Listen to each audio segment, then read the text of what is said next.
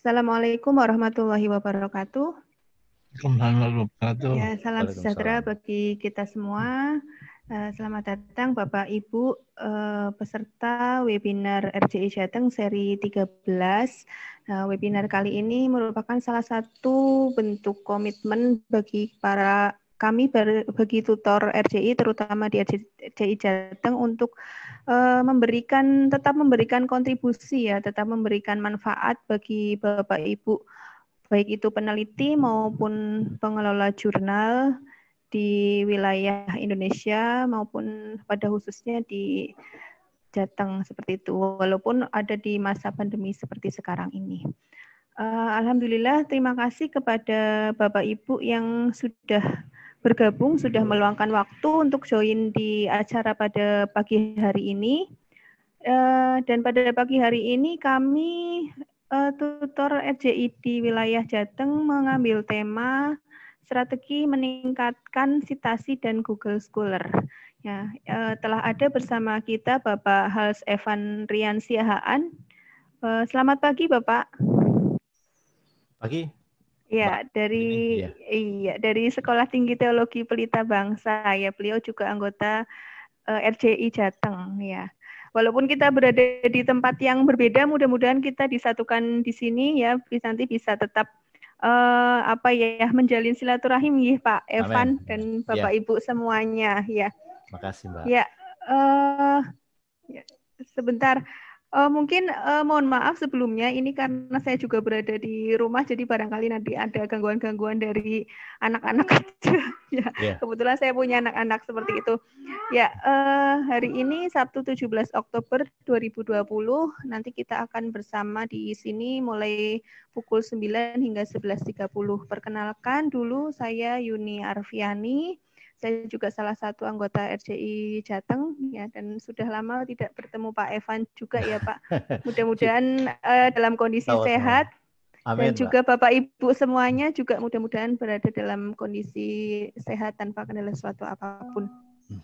Uh, nanti untuk URL materi dan sertifikat akan di-share melalui link yang sudah tertera di uh, layar bit.ly slash daftar RJI Jateng. Nah, sebelum kita mulai, alangkah baiknya untuk memperlancar webinar pada pagi hingga siang hari, kita berdoa menurut agama dan keyakinan kita masing-masing. Untuk yang beragama Muslim, eh, saya persilahkan untuk membaca basmalah. Bismillahirrahmanirrahim. Eh, baik, selanjutnya akan saya jelaskan uh, rundown pada webinar pagi hingga siang hari ini Uh, yang pertama nanti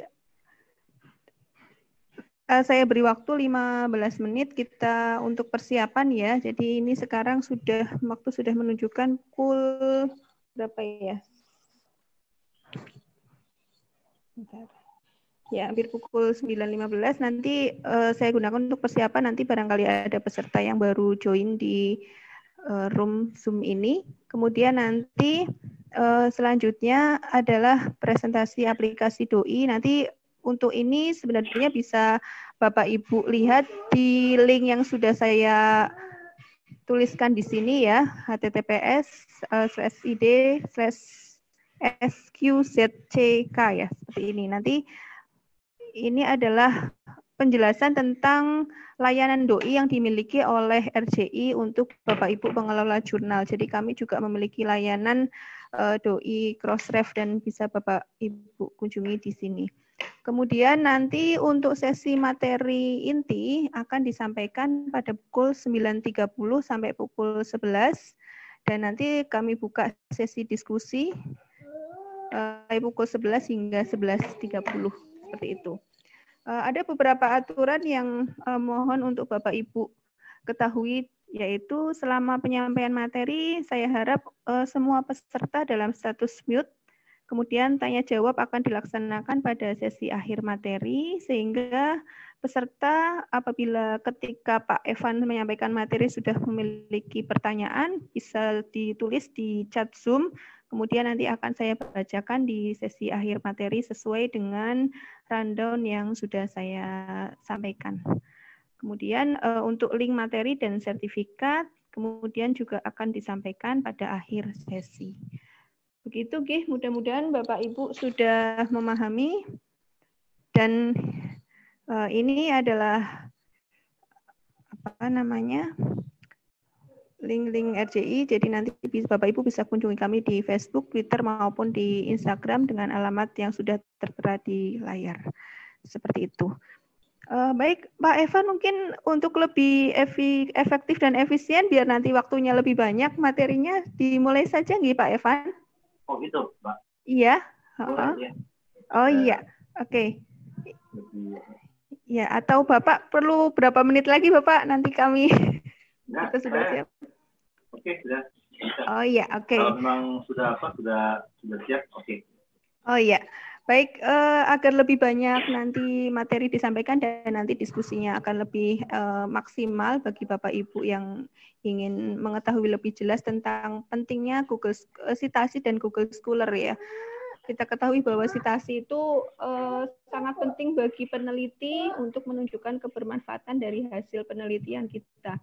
Begitu juga dengan Google Scholar merupakan uh, ya layanan dari Google yang di situ bisa uh, kalau tidak salah bisa memuat eh, hasil-hasil uh, penelitian kita ya Pak Evan ya. ya sehingga itu juga bisa merekam citasi yang uh, dimiliki oleh para peneliti. Untuk lebih lanjutnya saya rasa saya langsung berikan waktu sepenuhnya untuk Pak Evan untuk mempresentasikan materi. Ya. Silakan Pak Evan. Ya. Uh, saya boleh dibagi share screen Pak.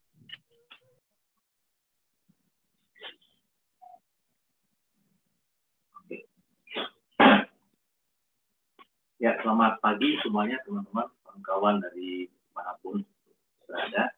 Uh, senang rasanya bisa ada kembali dalam uh, SDI, satu kehormatan buat uh, saya boleh berbagi walaupun ini hal yang sudah sangat umum ya. Artinya ini uh, mungkin hanya untuk beberapa kawan hanya sekedar untuk merefresh lagi ya uh, kita apa namanya peningkatan efikasi atau uh, pemanfaatan pemaksimalan uh, Google Scholar secara umum dalam membantu uh, dalam membantu kita secara khusus uh, dalam ini khususnya dalam apa ya dalam uh, literasi atau penulisan penulisan uh, hasil penelitian maupun ya artikel-artikel uh, ilmiah yang kita punya nantinya.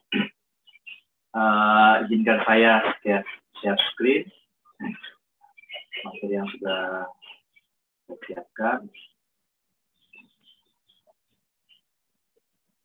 Ya, meningkatkan citasi dengan memanfaatkan media sosial networking. Um, saya, saya adalah pengelola dari jurnal sebuah jurnal Kurios namanya jurnal teori dan pendidikan Kristen uh, alhamdulillah ya puji Tuhan ini sudah masuk di tingkat dua di awal tahun ini. Bantuan SJI uh, juga sangat banyak. Saya mulai mulai uh, mengikuti acara-acara SJI itu dari tahun 2016 lalu 2017 menjadi uh, tutor dan banyak manfaat yang saya terima sehingga bisa um, menolong saya untuk meningkatkan uh, pengelolaan jurnal khususnya ada beberapa. Sebenarnya ada beberapa yang saya juga uh, mulai. Dulu saya mulai waktu saya 2016 itu ikutan acara SJI saya mulai dengan jurnalis. Jadi uh, beberapa pengurus SJI seperti Kang Busro dari UIN Bandung uh, lalu Pak Ketua sendiri Pak Andri itu awalnya lebih mengenal saya sebagai pengurus atau pengelola Dunamis Lalu saya resign di 2017 akhir 2018. Saya mengelola Kurios. Uh, Dunamis pun sekarang sudah masuk di Sinta 2. Lalu 2017 saya coba untuk membangun uh, Epigrafe, ada sebuah jurnal namanya Epigrafe, dan sekarang juga sudah ada di Sinta 4. Nah ini hal hal-hal yang bermanfaat yang diberikan oleh SJI secara tidak langsung maupun langsung ya uh, kepada saya. ya, rata-rata kita pasti sudah punya di kita. OutFit adalah hal yang penting karena dengan dengan ID OutFit atau uh, dengan kita bisa terhubung atau yang uh, masuk juga di sana uh, cross rank. Kalau kalau kita punya ini uh, kalau kita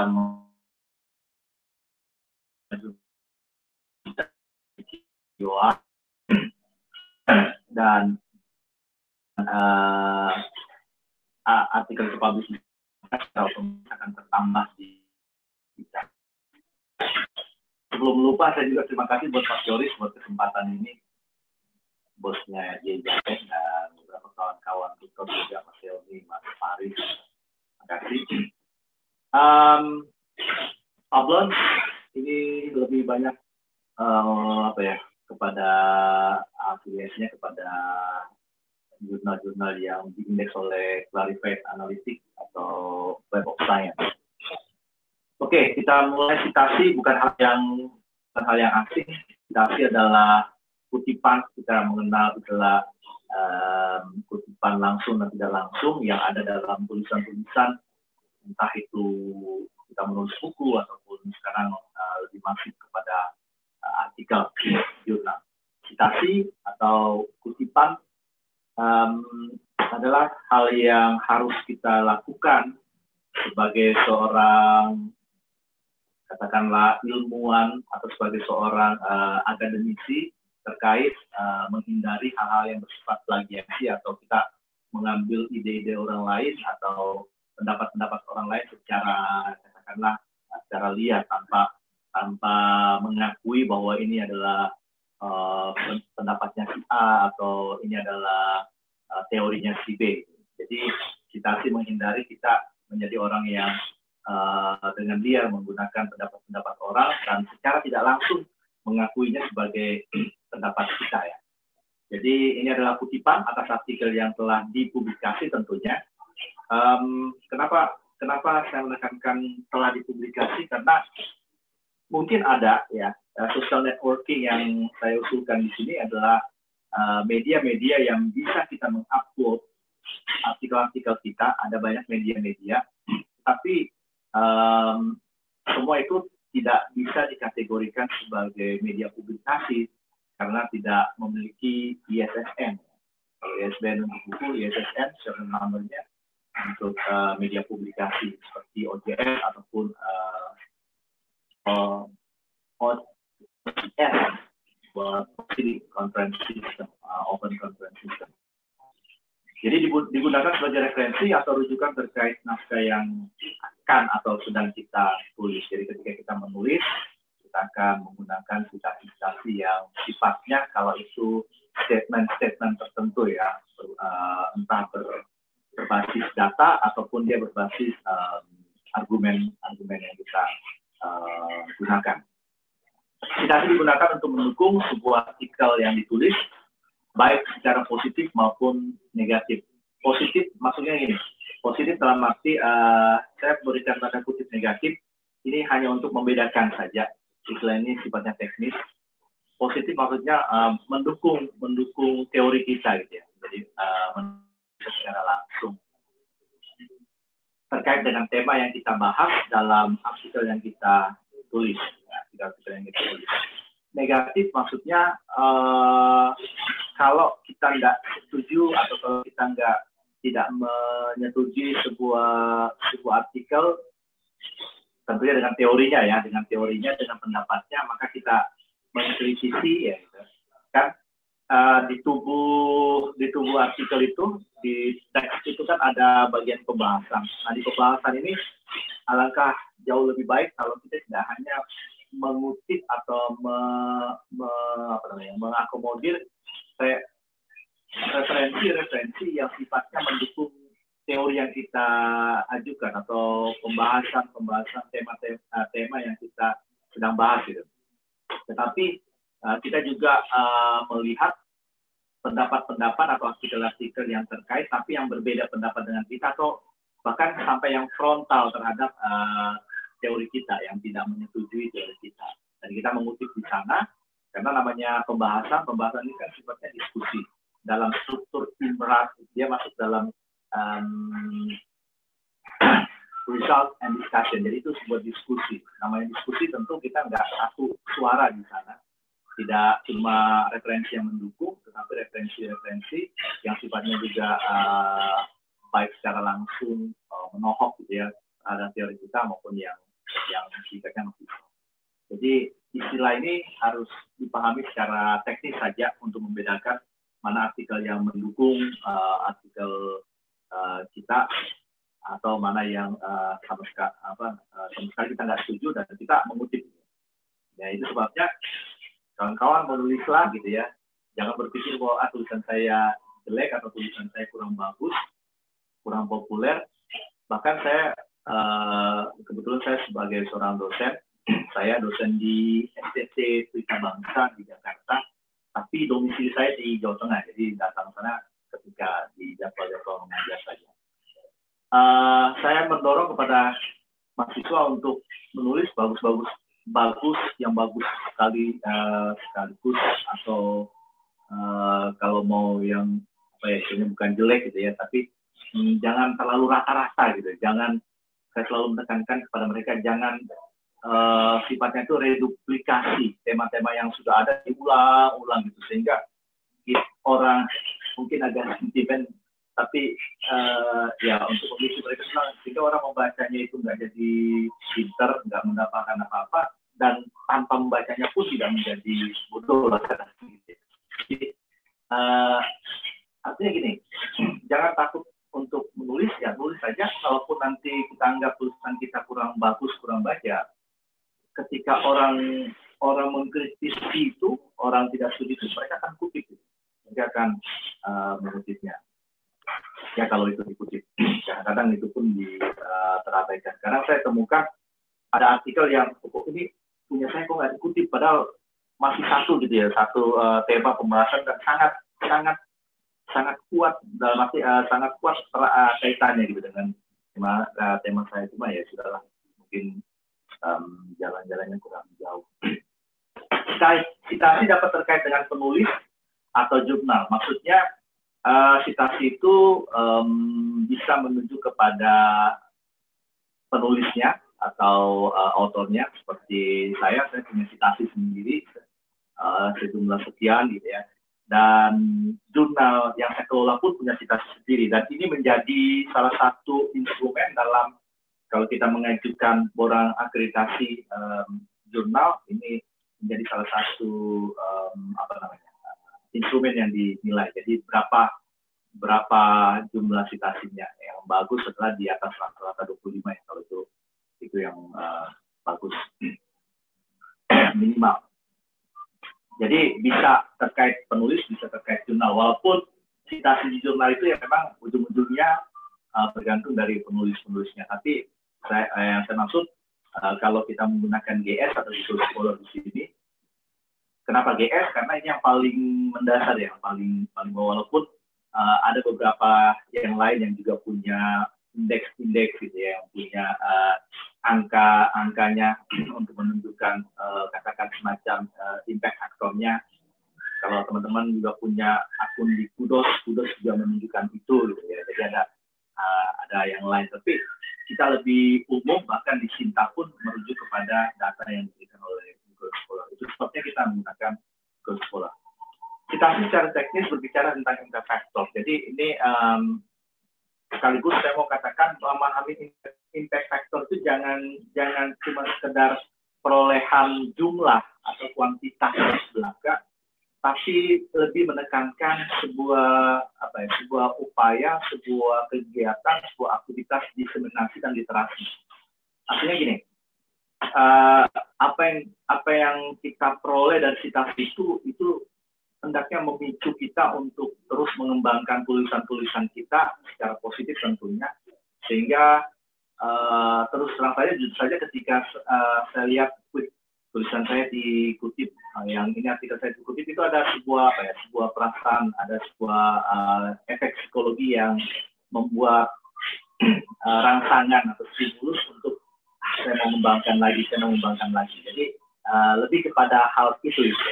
jadi indikator bahwa ternyata artikel saya laku dalam tanda kutip ya. Artikel saya laku artikel, artikel saya memiliki impact gitu. Jadi bukan cuma sekadar jumlahnya tidak uh, saya berkecimpung di di jurnal-jurnal uh, sekolah tinggi teologi ya.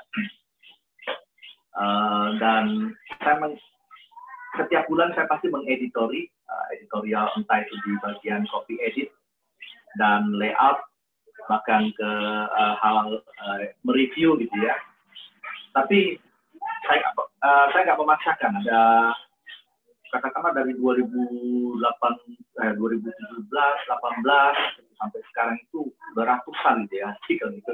Tapi nggak pernah saya memaksakan harus kutip tulisan saya kasih referensi gitu enggak.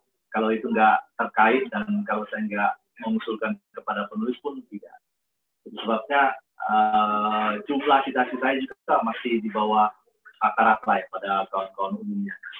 Kalau di lingkup teologi mungkin di lingkup sekolah kami, eh, sekolah tinggi teologi itu mungkin termasuk banyak, tapi kalau di lingkup yang umum, ini Pak, masih receh gitu ya.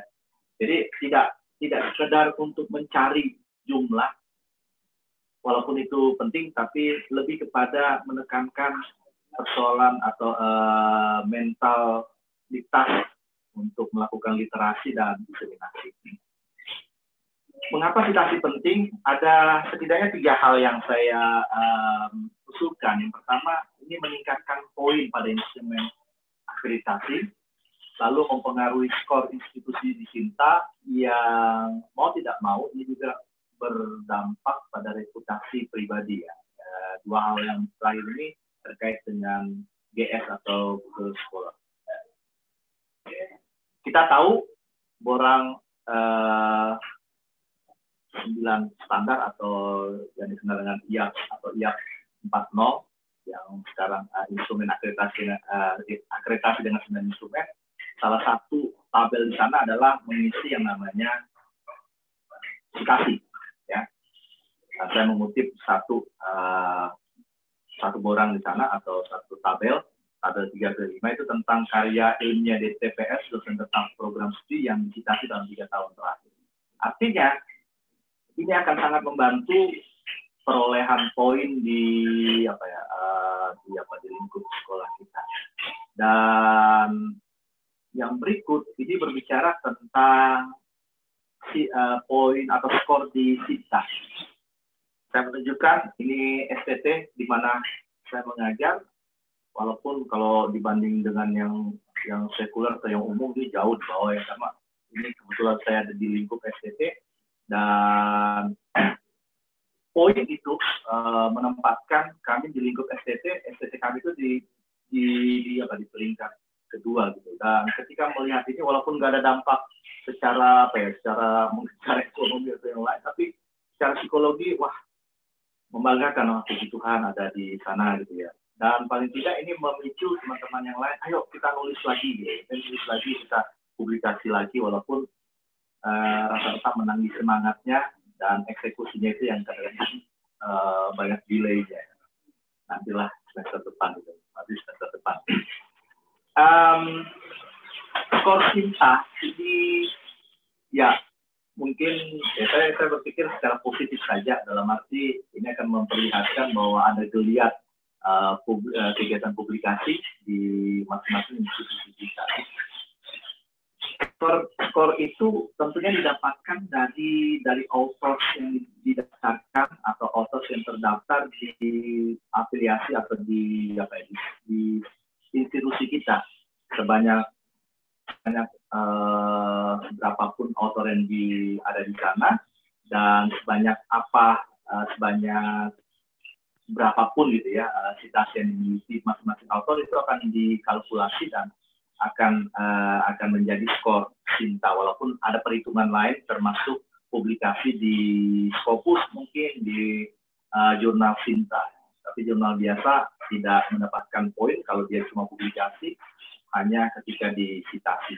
Jadi penting uh, ini ini pentingnya uh, menekankan citasi. Nah ini kita memperlihatkan mengapa sekolah-sekolah ini masih 000 bukan berarti mungkin publikasinya belum uh, belum secara online gitu ya belum memperlihatkan uh, apa namanya um, publikasi online mereka atau mereka juga belum memperlihatkan kalau mereka di citasi hanya atau hanya menekankan uh, publikasi saja walaupun itu baik tapi uh, kalau tidak tidak apa ya tidak tidak disitasi juga kan gimana gitu ya menulis tapi tidak ada misalkan tidak ada tidak ada impactnya lah dalam tanda kutip gitu, ya, tidak ada dampaknya walaupun itu juga tidak tidak tidak mutlak menjamin tapi paling tidak ketika ada citasi kita akan melihat bahwa oh ternyata artikel saya juga diperhitungkan. Nah, uh, saya nggak tahu tapi uh, karena perhitungan itu dari citasi salah satunya, salah satu unsur dalam uh, perhitungan atau penghitungan skor cinta, maka um, kemungkinan besar author belum memiliki citasi mungkin sudah punya publikasi tapi publikasinya belum di jurnal yang bercinta. Uh, mungkin juga belum uh, belum apa ya belum melaporkan atau belum melaporkan dalam tanda kutip artinya belum uh, memperlihatkan uh, cinta apa sorry uh, Google Scholar mereka di di, di portal cinta jadi ada banyak hal tapi paling tidak saya mau menekankan bahwa citasi mereka belum terekam di sana uh, ini gaya saya saya memberikan uh, apa namanya kotak di sana nanti kita akan lihat maksudnya apa. Oke, ketika ketika teman-teman ketika ini yang saya peroleh katakan ini saya peroleh dalam perhitungan atau dalam penghitungan skor Sinta 105 kita ini bernilai 60 um, 130 itu 65 ya, 65,5. Karena satu citasi di Google Scholar itu nilainya 0,5. Nah, jadi saya menyumbang berapa dari poin yang tadi itu saya menyumbang dari citasi saya sekian. Jadi bayangkan kalau teman-teman punya citasi banyak gitu ya, uh, akan menyumbangkan terhadap poin institusi itu sekian. Jadi mungkin kita belum melakukan hal-hal yang lain, apa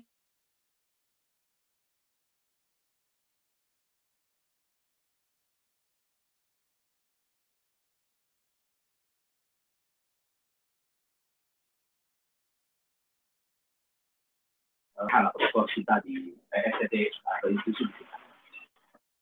Ini perhitungannya um, 0,5 untuk bobot um, citasi Google. Kalau kalau Scopus citasinya nilainya 1,4. Memang jarang sekali citasi-citasi yang di Scopus. Ini lepas dari ini ya, kita tidak nggak mau berprasangka terhadap hal-hal yang sifatnya tentang kartel tentang apa ya kita uh, kita nggak mau menggeneralisir ke situ, tapi kita mau melihat sebuah apa uh, sebuah edukasi dalam uh, dalam melakukan literasi dan diseminasi. Uh, lalu bagaimana meningkatkan citasi ini? Ada beberapa hal yang bisa kita lakukan. Pertama, ketika kita tentunya melakukan publikasi, kita harus publikasi dulu apa yang mau disat apa yang mau disitasi kalau kita nggak punya publikasi gitu ya publikasi itu bisa printed, bisa bisa dalam bentuk yang ditulis, dicetak gitu ya, atau mau di ebook silahkan. At, uh, yang paling umum atau yang paling masif sekarang dilakukan adalah melalui jurnal maupun proceeding secara online. Jadi bisa uh, harus melakukan publikasi di jurnal online yang terindeks, terindeks minimal oleh Google Scholar. Tujuannya agar orang yang akan menulis dengan tema sebidang ilmu dengan kita itu uh, diharapkan akan mengimitasi artikel yang kita publish. itu harapannya. Jadi harapannya dengan kita mempublish orang akan mensitasi. Jangan uh, jangan cuma ya awal mungkin aduh susah menulis itu susah gitu ya. Menulis itu um, butuh apa ya butuh butuh keteguhan ya memang butuh semuanya dibutuhkan butuh skill butuh semua butuh tapi ketika dalam satu tahapan, satu fase mungkin kita sudah sudah sangat uh, terbiasa dengan menulis, wah itu itu sangat bagus sekali, sangat baik. Tapi jangan cuma berhenti di situ, menurut saya. Mulai berpikir bagaimana supaya tulisan saya ini bisa Mungkin uh, satu tahun, ya idealnya kan satu tahun, satu semester itu bisa satu atau dua kali gitu ya, terkait dengan penelitian, walaupun bukan angka yang uh, tapi uh, hanya segitu itu bisa lebih ya silakan tapi paling tidak katakanlah setahun kita bisa menghasilkan 4 sampai 6 uh, tulisan gitu tidak ada. Atau sangat minim. Hanya hanya hanya satu atau dua itu kan. Minim sekali gitu. Sementara kita bisa melakukan melakukan um, meningkatkan cita kita dengan uh, dengan tulisan-tulisan kita. Pertama gini terkait uh, saya mau berbicara dalam konteks dosen dulu. Uh, kebetulan sebagai seorang dosen. Jadi apa yang saya tulis tentunya terkait dengan mata kuliah yang saya ajarkan. Sehingga ini ini ada kaitannya dengan mahasiswa. Jadi ini kait, ada kaitannya dengan mata kuliah dan pengembangan mata kuliah yang uh, saya ajarkan. Artinya yang saya tuliskan itu tentu tidak akan uh, lari jauh dari uh, ilmu atau bidang yang saya tekuni. Walaupun kayaknya menarik gitu ya, walaupun ada kesempatan untuk menulis yang sifatnya uh, inter atau intra bahkan multidisiplin, tapi paling tidak walaupun itu berkolaborasi dengan intra multidisiplinary, tapi paling tidak kita ada sentuhan, ada bagian yang kita uh, kita memberikan kontribusi di sana, bukan cuma nebeng nama istilahnya itu. Jadi kok uh, saya ada di, di lingkup uh, religiositas, ada tulisannya di ini di jurnal jurnal komputer namanya jurnal jurnal uh, teknologi gitu ya. Apa urusannya gitu di sana. Dan ternyata ketika di di apa di dilihat ke dalamnya di dalam uh, isinya uh, ternyata ada uh, apa ada bahasan bahasan tentang mungkin uh, bagaimana bagaimana kita berkontribusi orang-orang yang di lingkup uh, ilmu yang uh, religiusitas gitu ya atau keagamaan ini bisa memberikan dampak terhadap uh, apa namanya um, pengguna media sosial gitu kan masih ada kaitannya. Jadi uh, yang mau saya tekankan bahwa apa yang kita tulis, apa yang kita uh, publish itu adalah pastinya terkait dengan bidang minat, interest kita atau paling tidak mata kuliah yang kita ajarkan. Sehingga uh, sehingga kita bisa melakukan apa ya dorongan yang positif tentunya nantinya kepada uh, mahasiswa yang kita ajarkan. Menjadi editor atau reviewer di sebuah jurnal online. Uh, cobalah untuk kita juga bisa menjadi ya menjadi apa ya uh, editor bukan mungkin bukan pengelola secara langsung tapi sekarang kita uh, saya saya menjadi reviewer juga di jurnalnya uh, Kang Busro di jurnal Gajah Teologi di UIN Bandung.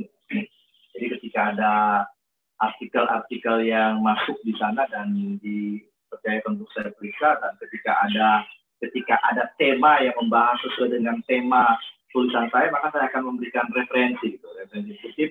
Ini coba pertimbangkan untuk mengutip ini. Ya, saya nggak memaksa tapi pertimbangkan dengan mengutip ini. Saya berikan linknya tapi uh, saya nggak langsung menya, uh, saya nggak langsung menunjukkan identitas di sana karena orang bisa saja nebak kok ini reviewer kok apa ya memberikan rekomendasi untuk mengutip uh, tulisan di tulisan satu orang de, jumlahnya banyak gitu ya. Orang kan bisa menebak tapi kalau kita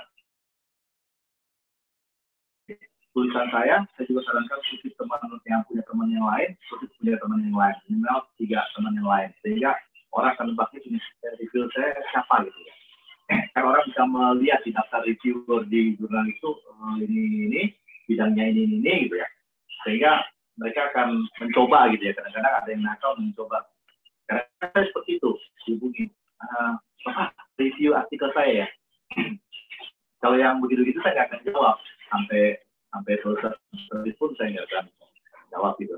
Cukup tahu secara oh oh ini situ lah ya kan kan uh, apa ya materi yang diserahkan kepada kita itu kan anonim tanpa nama tapi kita review bisa tahu ketika itu uh, publish oh ini. jadi uh, ketika kita menjadi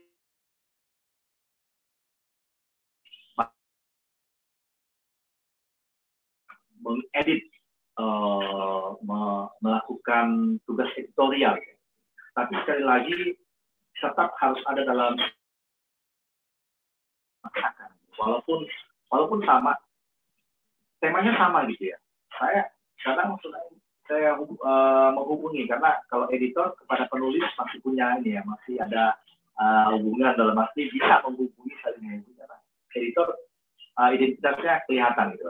Penulis pun bisa tahu siapa editorial, uh, section editornya siapa gitu ya, atau bahkan editornya siapa uh, penulis bisa tahu dalam email-email yang di apa yang di uh, email notifikasi, notifikasi yang dikirimkan uh, kepada mereka mereka bisa tahu.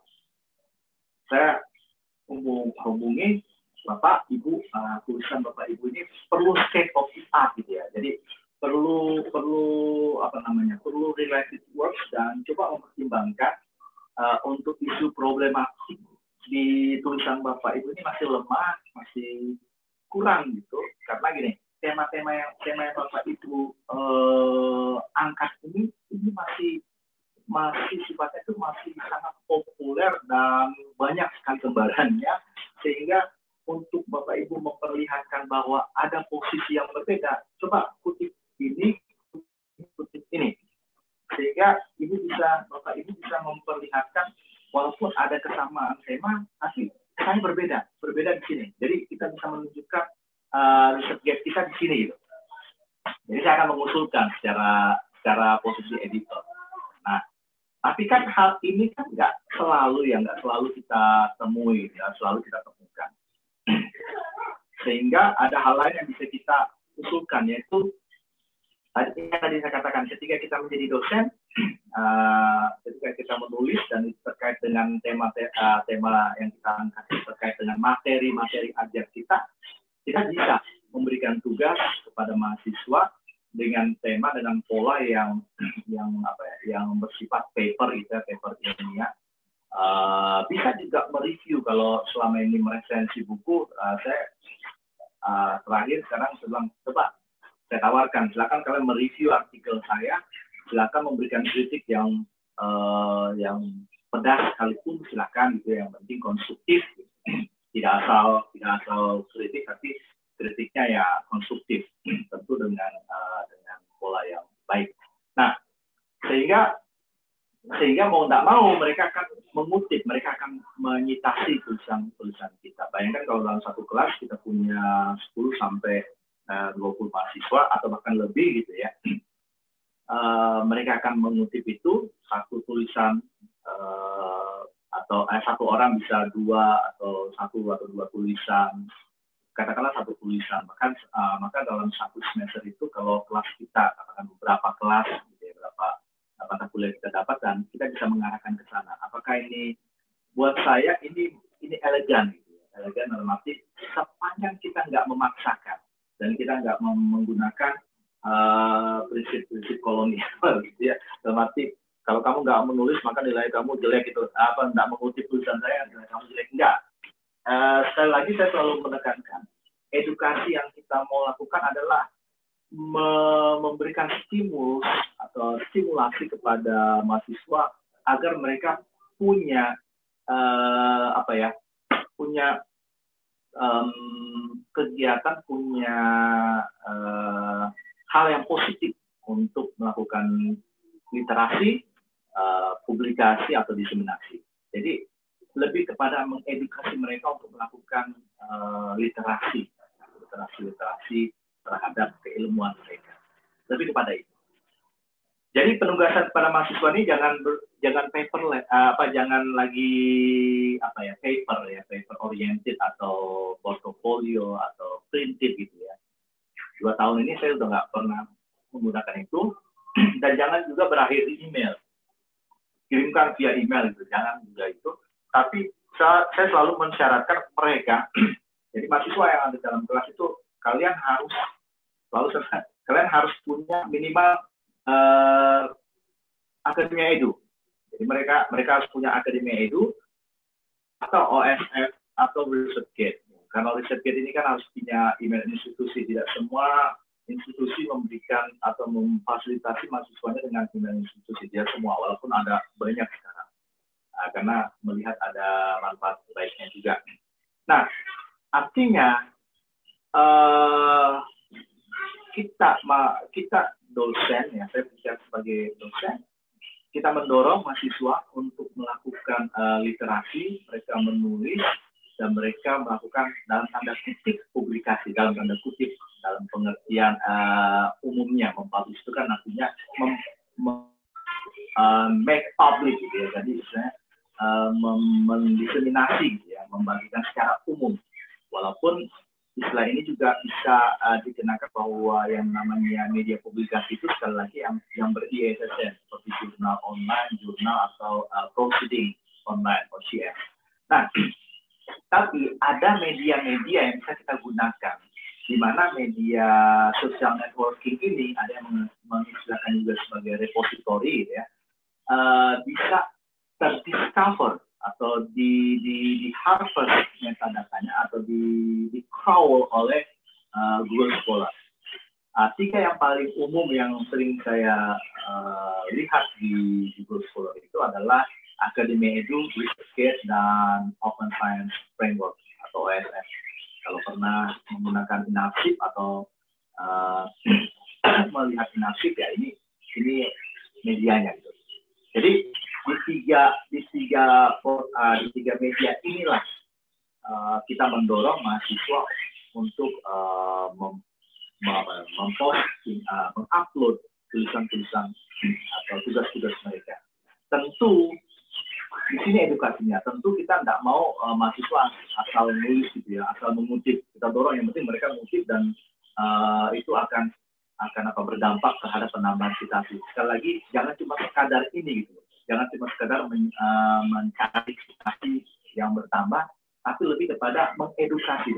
Sekali lagi, teman-teman jangan menghilangkan uh, prinsip dan edukasi. Artinya gini, uh, kirimkan dulu email uh, draft kalian atau tugas kalian, saya harus lihat dulu supaya nggak malu-maluin juga gitu ya.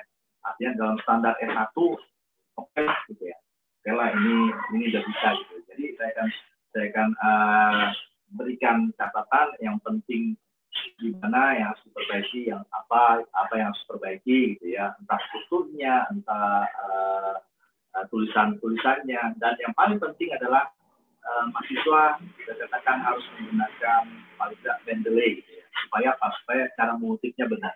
Kadang-kadang nggak sebaca karena mereka salah dalam uh, dalam cara mengutip.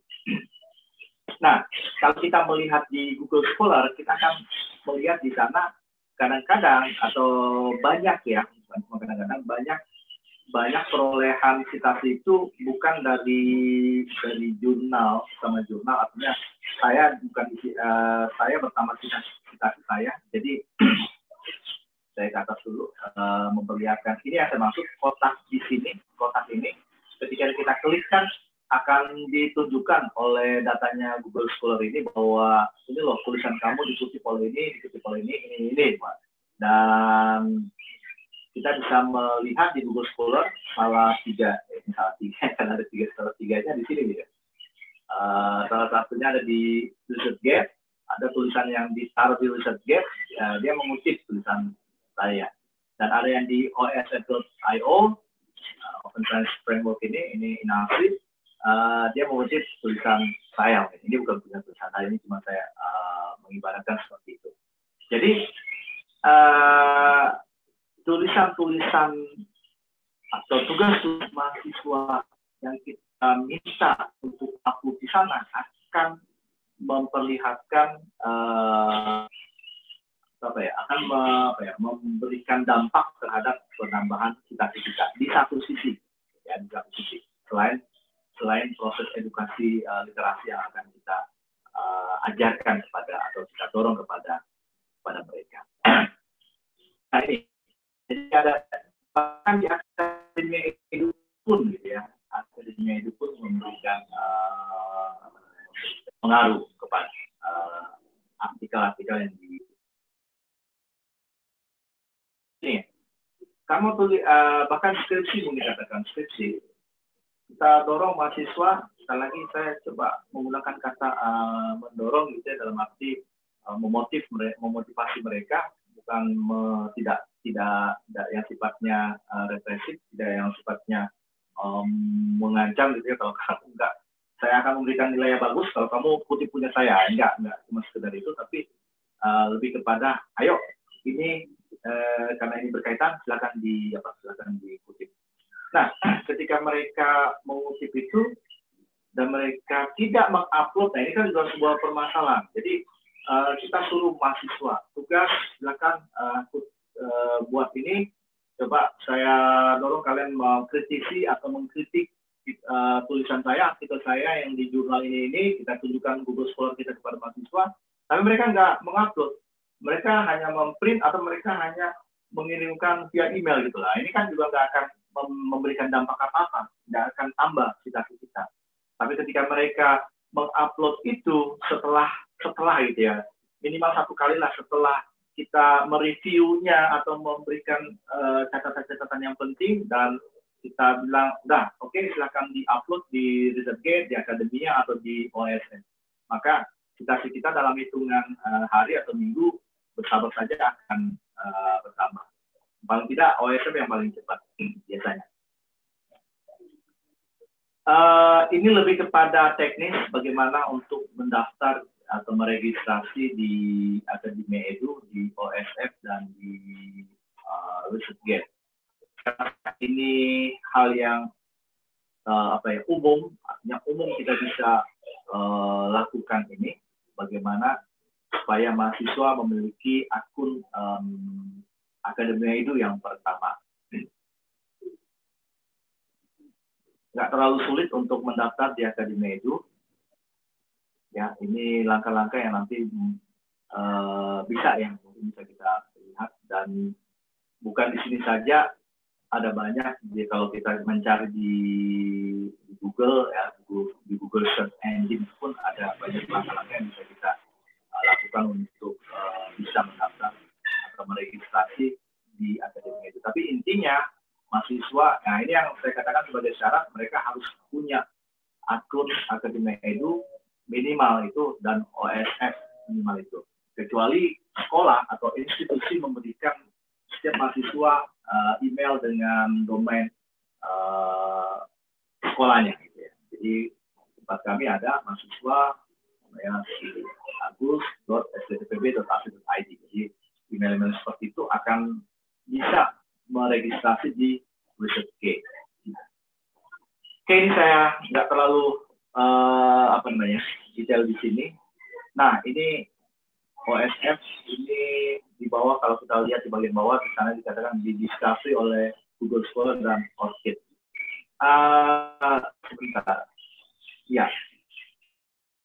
Kenapa saya menekankan ORCID? Karena OSF bisa men-sign up dengan ORCID secara otomatis, uh, secara langsung gitu ya. ya. Kalau kita punya ORCID langsung saja ini eh, pilihan yang diberikan oleh apa oleh OSF pilih inapsit kita Indonesia Podium untuk Indonesia ya walaupun bisa yang lain um, akan memberikan kemudahan untuk kita bisa meregister secara langsung saya di ini bidangnya di arts and humanities, so saya pilih ini ya. Jadi silakan pilih sesuai dengan bidang ilmu masing-masing.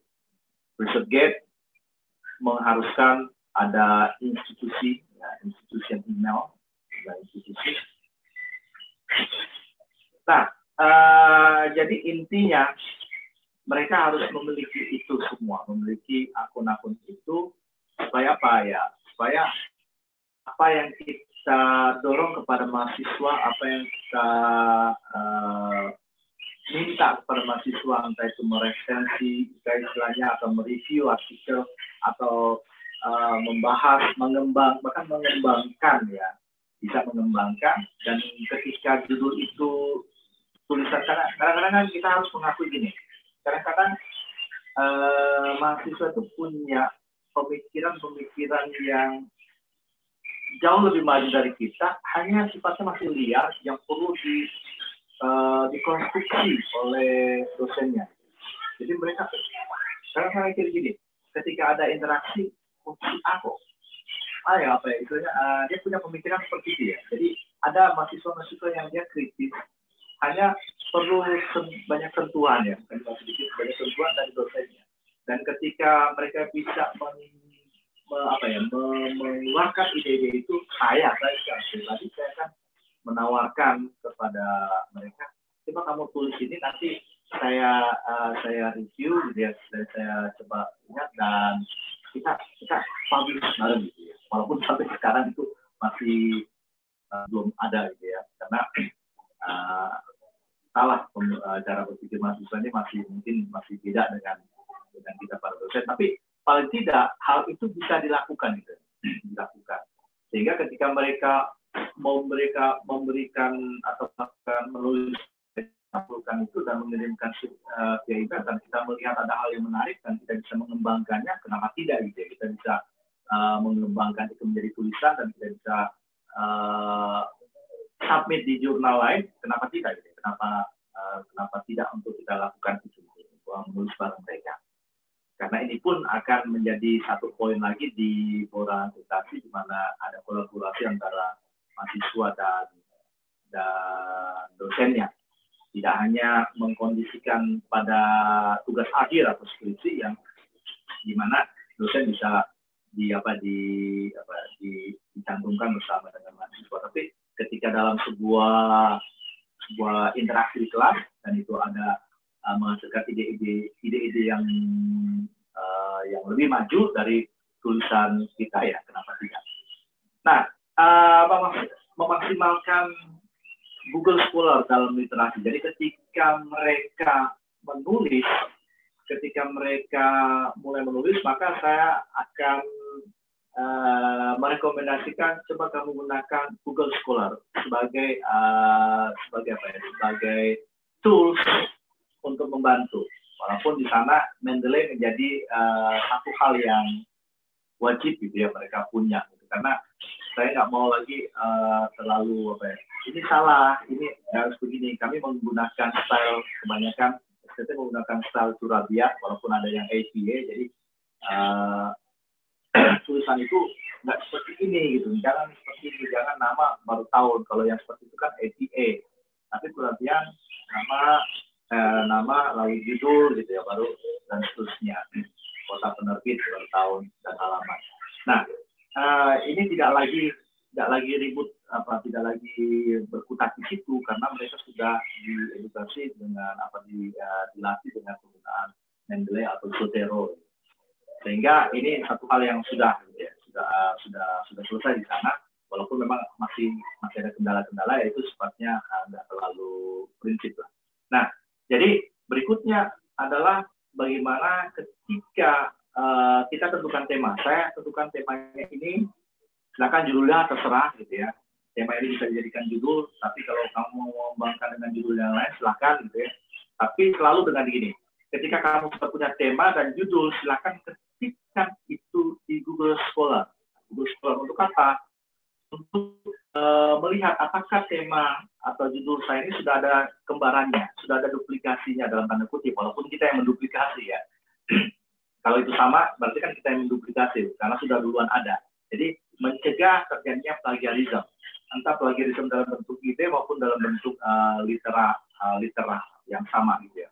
Jadi judulnya mungkin hanya kata sambungnya saja. Uh, contoh bapaknya yang paling umum apa ya? Uh, respon terhadap uh, bagaimana respon uh, agama atau bagaimana respon uh, keagamaan terhadap uh, pandemi COVID-19, COVID-19.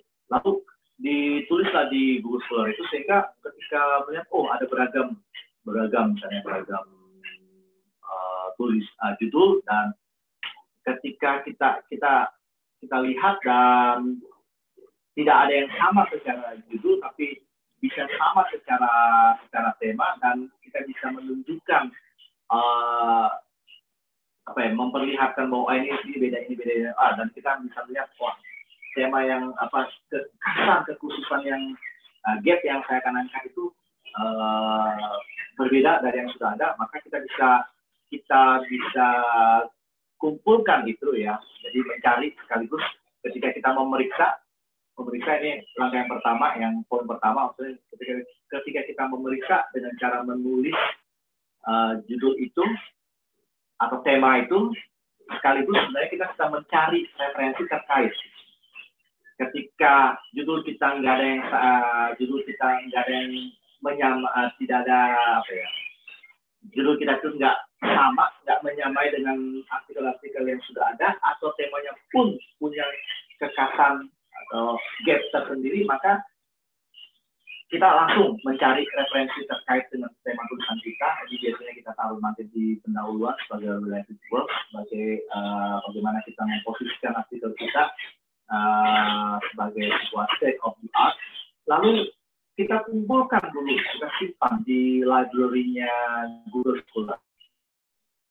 Bila perlu melabel ya. Jadi kita simpan dan melabel, memberikan label labeling terhadap referensi yang kita uh, kumpulkan itu. Jadi kita label itu yang kita perlukan perlukan kita label. Jadi kita label ini maksudnya ke, dari bidang ilmu kita itu kita beri label yang lebih keras lagi sebelum akhirnya kita ekspor ke Mendeley nanti. Uh, ini saya ketik tema judul ini sebagai contoh. Nanti sedikit saya coba untuk simulasi. Lalu saya coba sini ketik nama judul tentang ini ya tentang COVID-19 Ah ini kegiatan keagamaan di sini pandemi COVID-19, COVID-19. Dan ketemu beberapa apa beberapa tema di sana, beberapa judul. Dan saya menganggap, katakan saya menganggap ini, ini contoh saja, saya menganggap bahwa tema yang saya angkat itu uh, tidak ada yang menyamai, begitu juga dengan judulnya, maka saya akan ambil. Saya akan saya merasa ini perlu, saya klik di bintang ini, itu akan uh, terkumpul di library atau perpustakaan atau kepustakannya Google dulu sementara. ya. Jadi nggak bisa bisa bisa sih langsung download gitu ya uh, di apa di PDF itu. Tapi saya cenderung ketika saya mencari mencari uh, referensi itu saya akan kumpulkan dulu di my library Lalu nah ini ketika sudah terkumpul nanti saya kita klik di sini uh, semua ya untuk semua. Lalu ini untuk mengekspor. Klik di sini ini kode download untuk mengekspornya. Nanti ada ada apa ya? Ada pilihan di sana. Uh, saya, saya kalau saya memilih text atau saya menyarankan memilih text karena ini yang mudah dibaca oleh Mendeley. Nah, label yang saya masuk gini, di sini. Jadi ada bidang-bidang ilmu tertentu atau tema-tema tertentu yang menjadi pembahasan saya. Karena saya di sini adalah uh, tentang apa? Tentang keagamaan ada ada isu pentakosta ada perjanjian baru ada religiositas. Maka saya memberikan uh, label-label itu. Nanti apakah ini jadi apakah tema ini labelnya di mana gitu ya jadi nanti saya klik di depan ada kotak di depan ini dan di sini ada ada apa ada ada pensil atau apa ini krayon kan untuk memberikan label supaya nanti uh, lebih kepada klasifikasi sih label itu supaya kita gampang mencarinya di di library uh, kita. yang tadi kita copy, uh, sorry, yang tadi kita ini download ini, yang kita ekspor tadi, setelah pilih di text, maka uh, bentuknya seperti ini. Dan kita kontrol A aja semua, kita copy saja semua, lalu kita paste, paste, ya, paste di sini, di sebuah tempat yang sudah kita siapkan tentunya di Mendeley kita. Ya, di Mendeley kita. Lalu setelah itu baru kita paste di sini dan inilah hasilnya. 1, 2, 3, 4, ini 1, 2, 3, 4, itu akan uh, langsung tertulis di sana metadatanya. dan dan persis sama, persis sama. Karena kita uh, persis sama uh, dengan apa dengan informasi yang ada di apa di di Google uh, Scholar tadi. Jadi seperti itu. Nah, um, ulangnya gini, dengan meningkatkan citasi, selain akan berdampak pada reputasi pribadi tentunya dan posisi institusi masing-masing kita di Sinta, yang jauh lebih penting adalah sebuah edukasi literasi bagi mahasiswa yang kita ajarkan. Jadi ini saya uh, dalam konteks uh, antara dosen sama mahasiswa, bagaimana kita sebagai seorang dosen yang menulis, yang mempublikasi, dan kita perlu untuk meningkatkan citasi kita.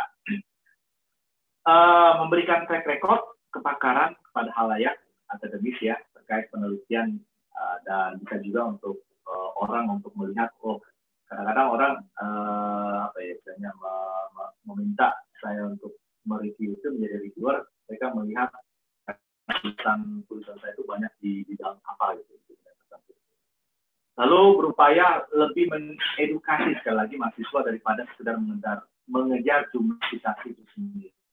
Jadi sekali lagi teman-teman kita dan mengedukasi mereka untuk melakukan literasi yang baik uh, dengan dengan social networking yang mereka punya. Kalau mereka rajin tulis status di Facebook, kenapa nggak kita arahkan gitu? Mereka punya potensi, potensi nulis, ya sudah kita arahkan saja di social networking yang lain. Akademi itu, akademi itu kan social networking yang sifatnya akademia, gitu. dan itu memberikan dampak yang uh, lebih baik, jauh bahkan lebih baik. Jadi stimulus untuk kita lebih giat melakukan literasi dan publikasi. Artinya gini, nambah lagi, cita saya nambah lagi, aduh saya mau mengembangkan lagi. Jadi paling tidak itu menjadi uh, sebuah daya rangsang yang positif untuk kita lebih mengembangkan uh, diri kita. Itu saja, terima kasih.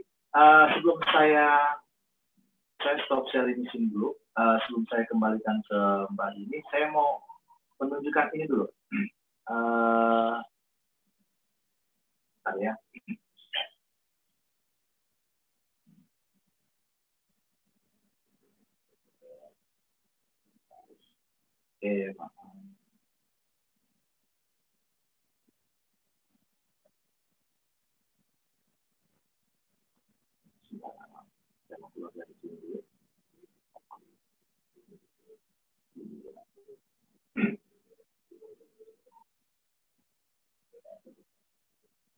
Izinkan saya sebentar untuk me, apa, men-share ini. Uh, jadi seperti ini. Google Scholar ini kita uh, apa ya tema tema sedangkan ketika tema di sana namanya seperti tadi ya uh, namanya nasionalisme namanya. terus kita cari lalu nanti Google akan memberikan uh, referensi ini ini yang ada dan katakanlah ah ini contoh saja. Saya saya tertarik dengan yang nomor dua maka saya akan bintang dia akan tersimpan di library. Save to your library dan sini uh, kayaknya ini bagus nih konsumsi sosial berbasis agama. Ah, ini kayaknya bagus. Saya ambil lalu saya coba pindah yang ke lain ah ini kayaknya bagus. Saya ambil lalu nanti itu akan terkumpul di my library. Katakanlah ini ini proses yang panjang itu dalam arti uh, banyak yang kita cari gitu ya. Saya sarankan kumpulkan saja dulu semua di library kita. Dan satu kali kita cek di sini ini my library, ini library kita. Ini yang tadi barusan saya ambil. Dan saya perlu memberikan label mungkin katakan kita berikan label ini ini saya masukkan sekali lagi ini contoh ya teman-teman uh, silahkan memberikan uh, label itu sesuai dengan apa yang kita mau labelkan terhadap masing-masing artikel. Ini saya kasih uh, ini saya ini labelnya ya ini saya kasih label uh, religiositas. Ya, saya kasih masuk religiositas, apply, nanti dia akan ada di sana. Jadi ketika saya eh, label sini sudah ada, saya klik di label sini religiositas, ini sudah ada yang tadi. Ini internalisasi, nasionalisme kiai, dan seterusnya. Library saya ini yang umum, ini yang mungkin banyak katakan sudah sudah kita kumpulkan di sini puluhan gitu ya atau terserah mungkin ratusan gitu ya. Uh, saya tinggal ah saya mau cari-cari yang mana yang perjanjian baru umpamanya gitu ya. Oh, belum ada yang pentakostalisme umpamanya ah sudah ini sudah ada saya kasih label yang religiositas namanya ah, ini sudah ada jadi uh, label ini label ini tergantung kita. Ini ini kategorial kita saja yang mengkategorikan supaya lebih spesifik. Nah, ketika ini saya akan tambahkan katakan nah ini belum ada di ini saya perlu saya perlu karena mahasiswa akan menulis dan mereka saya sarankan menggunakan Mendeley mereka akan kumpulkan ini kumpulkan ini semua dan oke okay, sudah silakan klip ini kita ekspor kita akan ekspor ke Mendeley lebih text yang paling Uh, saya belum terus belum mencoba yang lain, saya hanya mencoba bitek saja. Ini di copy saja semuanya, copy lalu saya sudah siapkan di sini. Oh, saya belum siapkan yang lebar. Iya. Uh, ya di JS ini ini saya hapus dulu ya. Oke, saya kembali yang tadi dulu. Ini saya copy semua, lalu saya masukkan di sini, dan ini semua sudah ada dan siap dipakai dalam apa dalam penulisan. Dan ketika kita ketika kita pakai ini, ya akan sangat menolong. Kalau itu artikel-artikel dari kawan-kawan atau teman-teman. Itu saja Mbak Yuni yang saya bisa bagikan. Mungkin ada kurangnya nanti bisa didiskusikan. Makasih banyak Mbak Yuni. Ya, uh, baik terima kasih Pak Evan atas paparannya. Tadi ada beberapa hal yang penting ya terkait citasi bahwa citasi itu selain menunjukkan nanti uh, kebermanfaatan dari artikel kita ya nanti akan yang akan berpengaruh terhadap indeks ternyata uh, itu justru akan memberikan bisa memberikan pembelajaran juga untuk mahasiswa ya Pak. Bagaimana untuk uh, memiliki literasi artikel yang baik, literasi ya. jurnal, ya. kemudian uh, bagaimana ya bagaimana cara untuk uh, agar kita itu tulisan-tulisan kita atau tulisan mahasiswa itu tidak terindikasi plagiasi seperti itu ya, ya Pak Evan benar. kalau saya tangkap. Benar. Di samping juga uh, sangat penting bagi akreditasi institusi ya Pak karena sekarang kan tidak hanya uh, output tapi juga outcome ya. Jadi outcome, kebermanfaatan ya. dari luaran-luaran uh, luaran peneliti, luaran dosen juga bagaimana citasinya. Jika memang citasinya banyak, artinya artikelnya itu memang bermanfaat, gitu artikel ya, penelitian dosen. Seperti itu ya, ya dampak memberikan impact faktor nantinya. Oke, okay, uh, eh, uh, eh, terima kasih nih Bapak Ibu sudah ada beberapa pertanyaan tadi ketika Pak Evan memaparkan materi dan nanti saya langsung saja saya buka sesi diskusi. Nanti saya bacakan pertanyaan mulai dari uh, saya scroll ke atas. Ini ada, ini pertanyaannya nanti saya bacakan satu, kemudian langsung jawab gitu aja ya Pak Evan ya? Ya, ah, langsung gitu aja. Ya, oke. Okay. Ya, uh, pertanyaan yang pertama ini dari Bu Bu Dias. Bu Dias mungkin bisa di ada di standby di depan Zoom ya, Bu Dias. standby Bu Yuni. Oh iya, uh, ini Bu Dias uh, dari mana ya Bu? Uh, perkenalkan saya Dias dari Universitas Pancasila. Bu Dias. Oke, saya bacakan langsung aja pertanyaannya ya Bu Dias ya. Ini ada pertanyaan dari Bu Dias yaitu, uh, iya. Ya, ini tanya tentang mahasiswa Pak Evan. Apakah kemudian mahasiswa itu juga nantinya harus mempunyai Google Scholar, ID Google Scholar atau bagaimana? Mengingat tadi kan uh, penelitiannya kan berarti mengajarkan tentang citasi, berarti juga mengajarkan publikasi. Ini bagaimana tentang IDGS untuk mahasiswa? Monggo Pak Evan. Uh, eh, GS itu kan nggak harus cuma dosen yang punya ya. Kalau memang mahasiswa mahasiswa kita mau arahkan nanti mereka untuk uh, memiliki literasi dan mereka juga pengen uh, apa ya kadang-kadang kalau kita mau menunjukkan uh, sesuatu ini loh pencapaianmu ini loh kamu di kalau di media sosial itu kan kita dapat follower gitu ya. Wah follower saya udah nambah follower. Nah citasi ini kan semacam follower gitu. Jadi ketika mereka ditunjukkan wih ini loh uh, kamu disitasi tulisanmu juga disitasi gitu. Mungkin antar mahasiswa menyitasi gitu ya. Jadi kan terjadi sebuah siklus yang positif uh, tentang melakukan literasi dan uh, publikasi.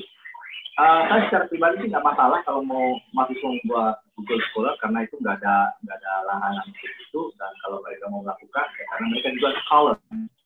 Pada intinya mereka juga scholar walaupun uh, ma masih dalam tahap in making atau dalam berproses gitu ya. Tapi pada prinsipnya mereka juga um, akan menjadi scholar nanti.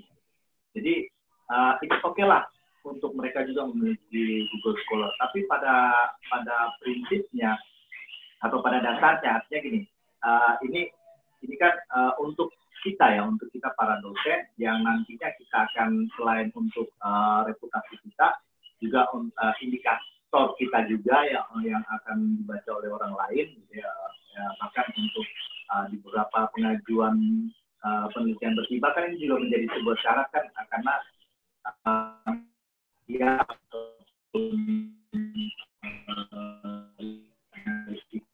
negara kadang itu akan melihat pokok uh, temanya tema yang ditawarkan kadang-kadang tentang ekonomi tentang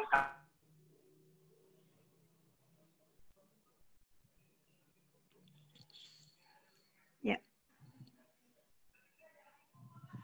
Ada kendala sepertinya? Ya putus bu Ya, ya, sebentar. Ada kendala sepertinya di Pak Evan. Ya, sebentar saya uh, hubungkan kembali. Ya. Pak Evan.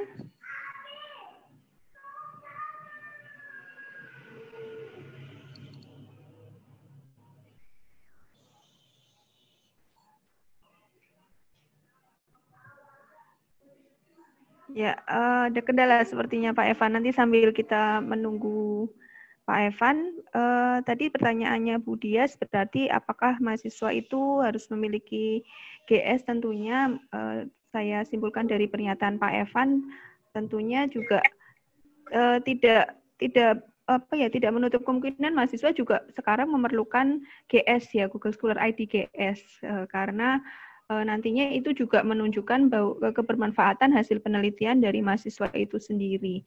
Seperti itu. Dan uh, untuk memiliki GS ya otomatis mahasiswa juga harus memiliki email institusi ya. Email institusi dari mahasiswa itu. Karena untuk membuat profil Google Scholar itu juga ada uh, verifikasi dari email institusi. Seperti itu ya Bu Dias. Oke, terima kasih Bu Yuni dan iya. Bapak Evan. Soalnya tadi uh, pas menjelaskan sinyalnya agak kurang lancar ya mungkin Bapaknya ya. Oke, okay. ya terima kasih Mbak. Menjelaskan. Iya. Ya, ya, Pak Evan. Iya Pak Evan. iya Pak. Sudah gabung kembali ya, sudah stabil kembali ya Pak Evan ya. Iya, padahal saya sudah bayar di Tindikom. ya, ya. ya, silakan Pak bisa dilanjutkan.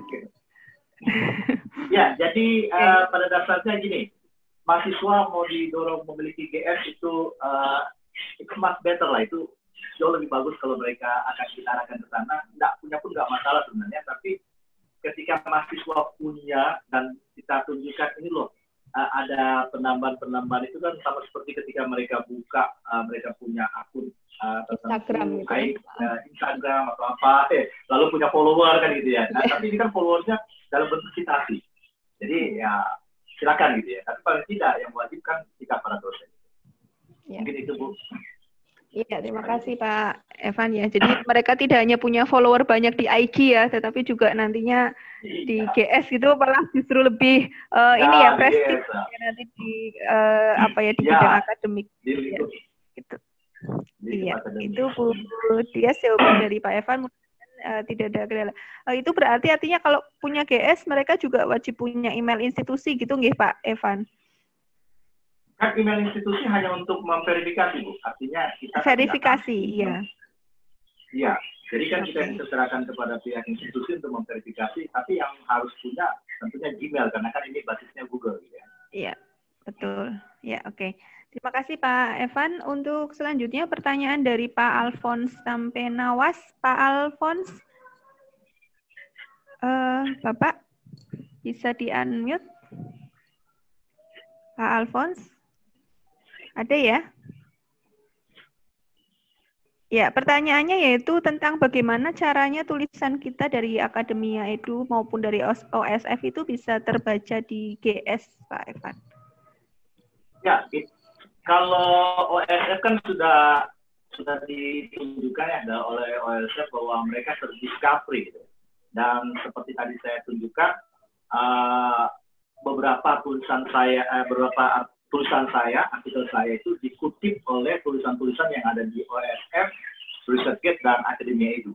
Jadi memang uh, artinya gini, itu itu pekerjaannya robotnya Google lah untuk mengcrawl itu, mengharvest gitu gitu. Jadi uh, kita hanya mem mempostnya, menguploadnya, tentu dengan dengan apa dengan literasi yang baik dan nanti Google akan men, uh, apa, me, apa, me, mengcrawlnya, mengharvestnya.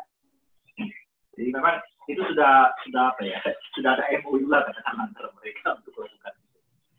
Otomatis, walaupun yeah. hitungan harinya nggak sama, yeah. OSF akan lebih cepat dari akademi itu itu biasanya. Ya, sama ketika di jurnal mungkin ya Pak Evan ya, jadi kan tidak langsung ya. sinkron dengan uh, Google Betul. Scholar gitu ya, jadi butuh waktu ya. seperti itu. Ya. ya. Oke, ini juga uh, hampir sama pertanyaannya Sunda pertanyaannya Bu Dina. Beliau bertanya juga tentang tulisan tetapi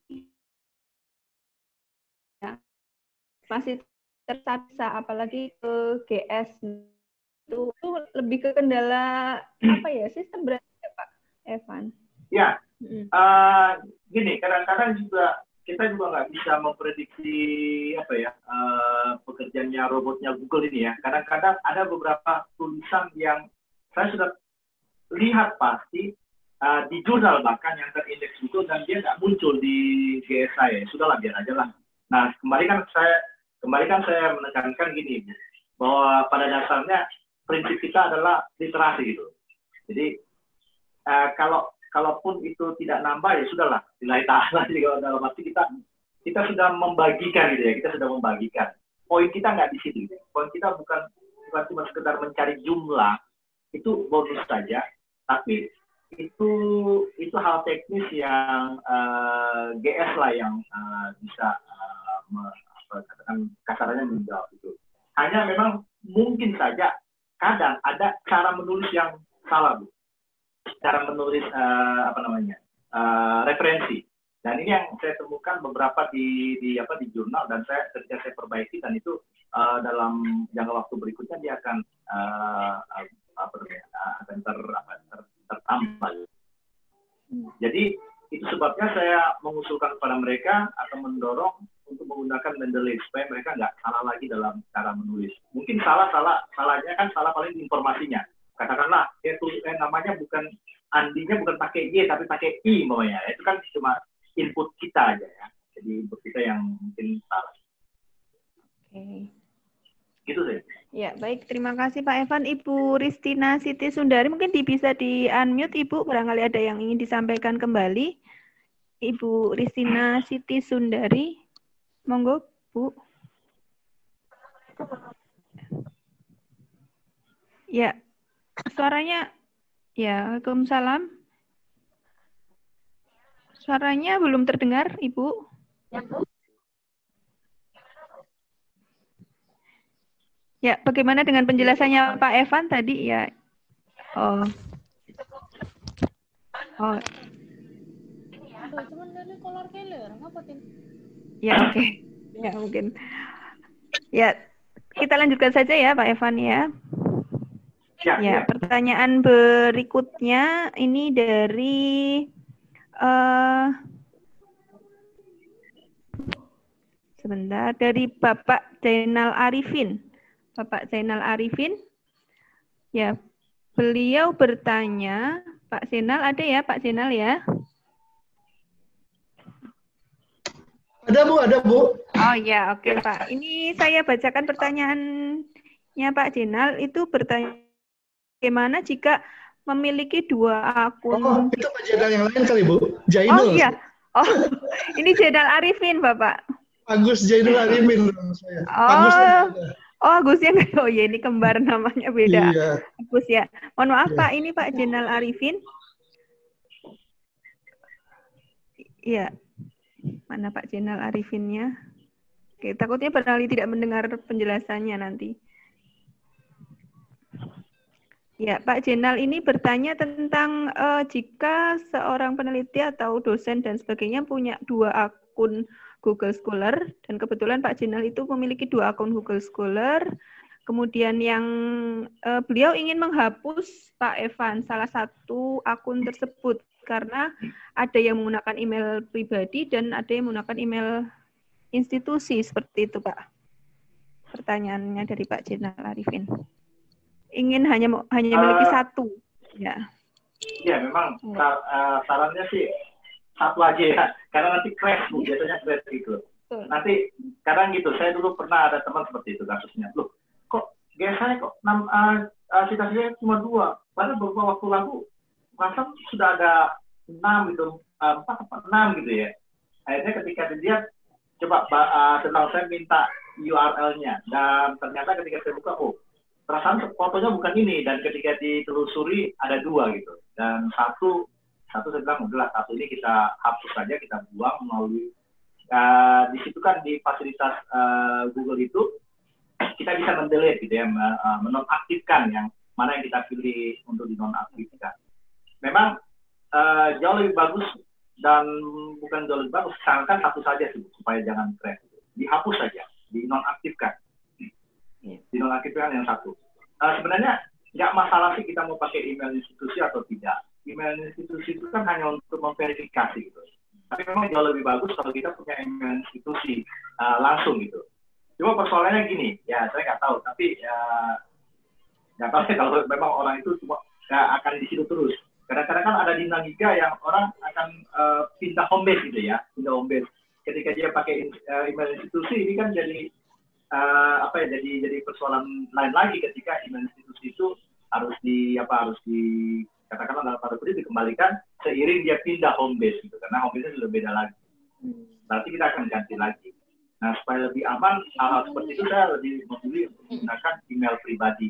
Email institusi itu hanya untuk me- apa me- memverifikasi. Sebenarnya untuk memverifikasi bukan email bukan hanya email institusi. Intinya itu email yang berbayar gitu ya dalam arti gini kalau kita punya eh, katakan punya web yang yang tidak harus institusi saya punya web eh, yang eh, domainnya itu .college gitu ya .college. Dan itu bisa memverifikasi itu. Itu bisa memverifikasi. Jadi intinya yang eh, email yang dari dari domain yang eh, kita punya beli sendiri. Kalau yang .com itu kan rata-rata kita difasilitasi secara itu memang nggak bisa untuk memverifikasi. Intinya diverifikasi jadi memang jauh lebih bagus salah satu ya kita apa kita hapus saja kita nonaktifkan di Google bisa kita nonaktifkan Oke. Jadi, Eh, mungkin di di settingannya ya Pak kan ada yang akunnya bisa bersifat publik, Ya. ada yang private gitu ya. ya ya bisa yang bisa. Oke, ya terima kasih Pak Evan. Mudah-mudahan Pak Jenal mendengar jawaban dari Pak Evan ya. Kemudian berikutnya ini ada dari eh, oh ini juga tentang terbacanya citasi kita di GS Pak dari Bu Monika Kartini ya. Jadi eh, sudah disitasi tetapi belum muncul di GS gitu. Ya, kembali ke ini nih ke sistemnya Google itu sendiri. Iya. Ya. Google itu memang uh, kita nggak bisa prediksi secara apa ya secara A to Z artinya mutlak ini begini begini nanti begini gitu. Kadang-kadang luput gitu. kadang-kadang luput. Jadi uh, kembali untuk kita nggak terlalu kecewa itu ya lebih kepada ini aja lah literasinya kita berbagi kita melakukan literasi. Kalaupun ya nanti dapat ya bagus gitu ya. Kalaupun maksudnya kalaupun nanti nggak dapat gitu ya ya sudah biar aja lah yang penting kita sudah berbagi dan uh, sudah orang sudah baca gitu karena memang kadang-kadang seperti itu. Jangankan gitu, saya beberapa kali itu hilang, dua tiga tulisan itu, loh, kok turun lagi gitu, kok kurang lagi ya, sudah biar aja lah. Mau ditelusuri juga udah nggak tahu di mana yang mana yang hilang kan gitu. Iya, iya. Jadi kadang-kadang sampai hal yang ekstrim seperti itu, Bu. Ya, oke. Ya, eh, tapi eh, paling tidak nanti pastinya akan muncul ya, Pak ya. Asalkan memang sudah tersitasi dengan cara yang benar gitu, nggih, Iya, iya. Tentu Oke. eh, ditulis dengan cara yang benar itu pasti. Iya. Bisa pasti juga sih, kalau bilang pasti, kadang-kadang nggak muncul gitu loh. Kalau kita mau Iya. pasti. Hmm. Ya, baik. Eh, untuk selanjutnya ini tentang pemasukan buku, Pak. Jika menulis buku tetapi ingin di agar terindeks Google Scholar. Nah, itu tentunya harusnya bukunya online ya, kalau menurut saya ya. Bagaimana Pak Evan? Menulis Kalau di buku, ak- eh, maksudnya gimana? Ah, jadi bagaimana agar buku, jadi sudah di buku agar terindeks di GS kita gitu. eh, kan intinya gini, eh, yang penting di GS itu kan data ya, data dalam arti eh, dokumentasi. Kalau kita pun menulis buku yang ter, eh, yang dia cetak, asal kita memberikan eh, informasi di GS kita, itu kan akan terindeks juga ketika orang pakai buku kita gitu. Eh, kalau saya tadi yang saya contohkan itu kan ada beberapa buku metodologi ya, metodologi penelitian, penelitian yang saya contohkan di slide saya itu kan ada salah satu buku metodologi penelitian, dia itu cetak, Tap- eh, dan digunakan dalam penulisan-penulisan ilmiah gitu ya, di- dikutip dan si penulis dia menar, eh, dia me- apa dia men- eh, mendaftarkan buku itu sebagai eh, tulisan dia di GS di Google Scholar. Jadi ada eh, ada input atau eh, apa namanya eh, add manual ya, add artikel manual. Jadi penambahan secara manual kita tuliskan saja di situ. Sekaligus sekaligus mungkin eh, gini bu yang tadi eh, Pak Jainal ya mungkin Pak Jainal kalau masuk di di Google Scholar itu mungkin saya bisa tunjukkan bu ya share screen ya boleh nggak? Halo ibu. Ya, silakan Pak. Silakan. Ya, Eh, supaya ini ya, eh, supaya lebih mudah. Pak Jenal, kalau kita mau, ini Google Scholar ya, Google Scholar kita.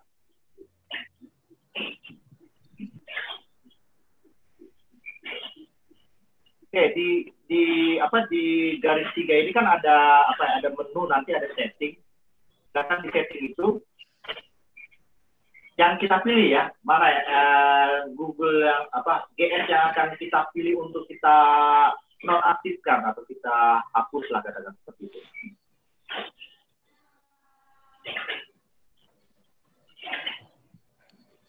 Ada account di sini, silakan dipilih account.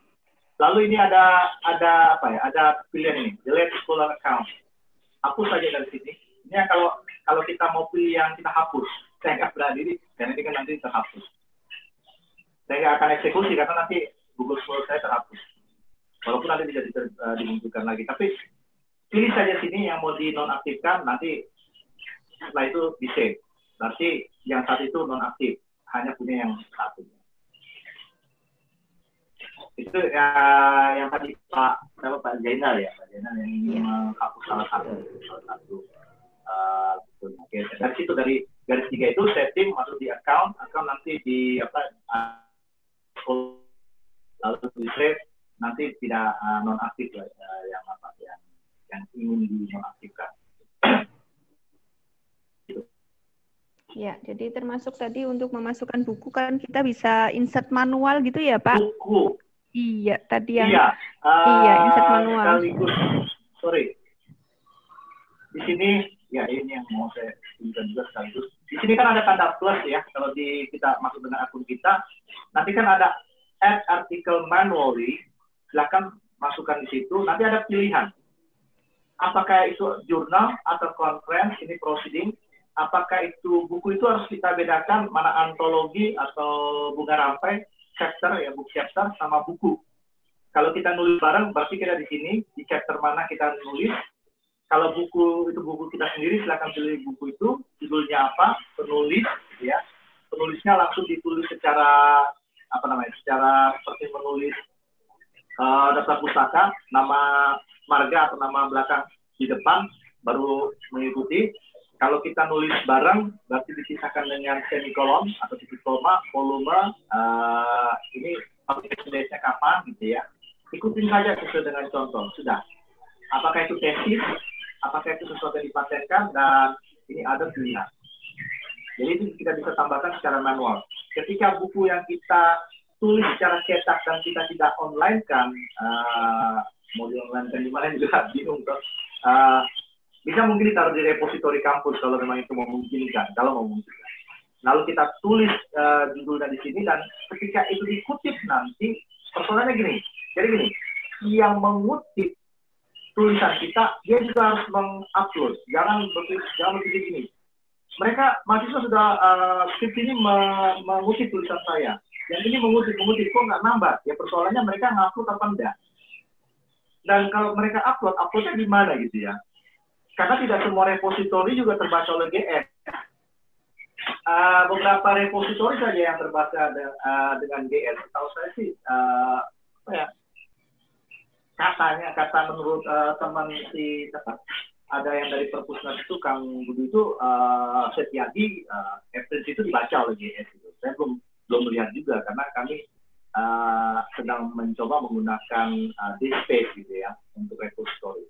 Jadi um, ketika kita menulis uh, dan kita daftarkan itu di Google Scholar kita dan mahasiswa menulis, nah itu persoalannya. Ketika mereka menulis, mereka upload apa tidak? Kalau mereka nggak upload ya sama bohong. Nah itu sebabnya saya mendorong supaya mereka minimal mereka upload di Akademi Edu atau di OSS supaya semuanya sama-sama terbaca gitu, terbaca oleh uh, Google Scholar. Begitu Ibu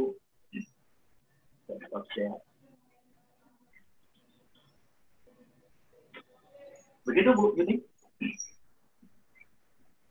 Oke, terima kasih Pak Evan atas penjelasannya. Ya. Ini uh, beberapa pertanyaan ada yang sama ya Pak. Jadi ada yang sudah apa memasukkan artikel ke GS baik itu secara pribadi maupun sudah memasukkan uh, artikel ke profil profil jurnal yang mereka kelola tetapi belum muncul di GS gitu. Apakah apakah mungkin ada kesalahan ketika memasukkan atau menginput artikel atau manajemen arti sisi manajemen artikelnya atau bagaimana Pak? Ini ada pertanyaan tentang itu Pak. Ya, jadi uh, dari pertanyaannya Pak Dodi Arianto. Monggo Pak. Iya. Iya, uh, sekali lagi pastikan pastikan tulisan kita itu apa ya tulisan kita itu uh, ditulis secara benar tentunya referensinya. Lalu kalaupun katakan gini di GS di GSI uh, di GS apa sorry uh, di GSI belum muncul secara manual uh, sorry, sorry belum muncul secara otomatis belum di harvest dan kita lihat bahwa itu sudah sudah seminggu atau katakan itu sudah dua minggu ada di sana di upload uh, di posting di publish di sebuah jurnal tulisan kita sudah dua minggu di sana katakan atau katakan sudah lebih dan belum muncul di Google Scholar kita tambahkan saja. Coba cari saja. Cari uh, tapi bukan secara manual tapi add article. Di sini kan ada article. Add article. Nanti coba masukkan kata kuncinya. Sesuai dengan uh, nama kita boleh, sesuai dengan uh, judul itu juga boleh. Nanti kan di sini akan terlihat. Kalau dia belum di profile seperti ini kan belum di profile, ini saya bisa tambahkan. Ini belum ada di profile. ini belum ada di profile seperti ini. Ini tulisan saya, ini tulisan saya, belum ada di profile. Kalau ada di profile dia akan uh, ada di GS, dia akan tulis uh, di apa diberikan ini label ini in profile, in profile, sudah ada di profile.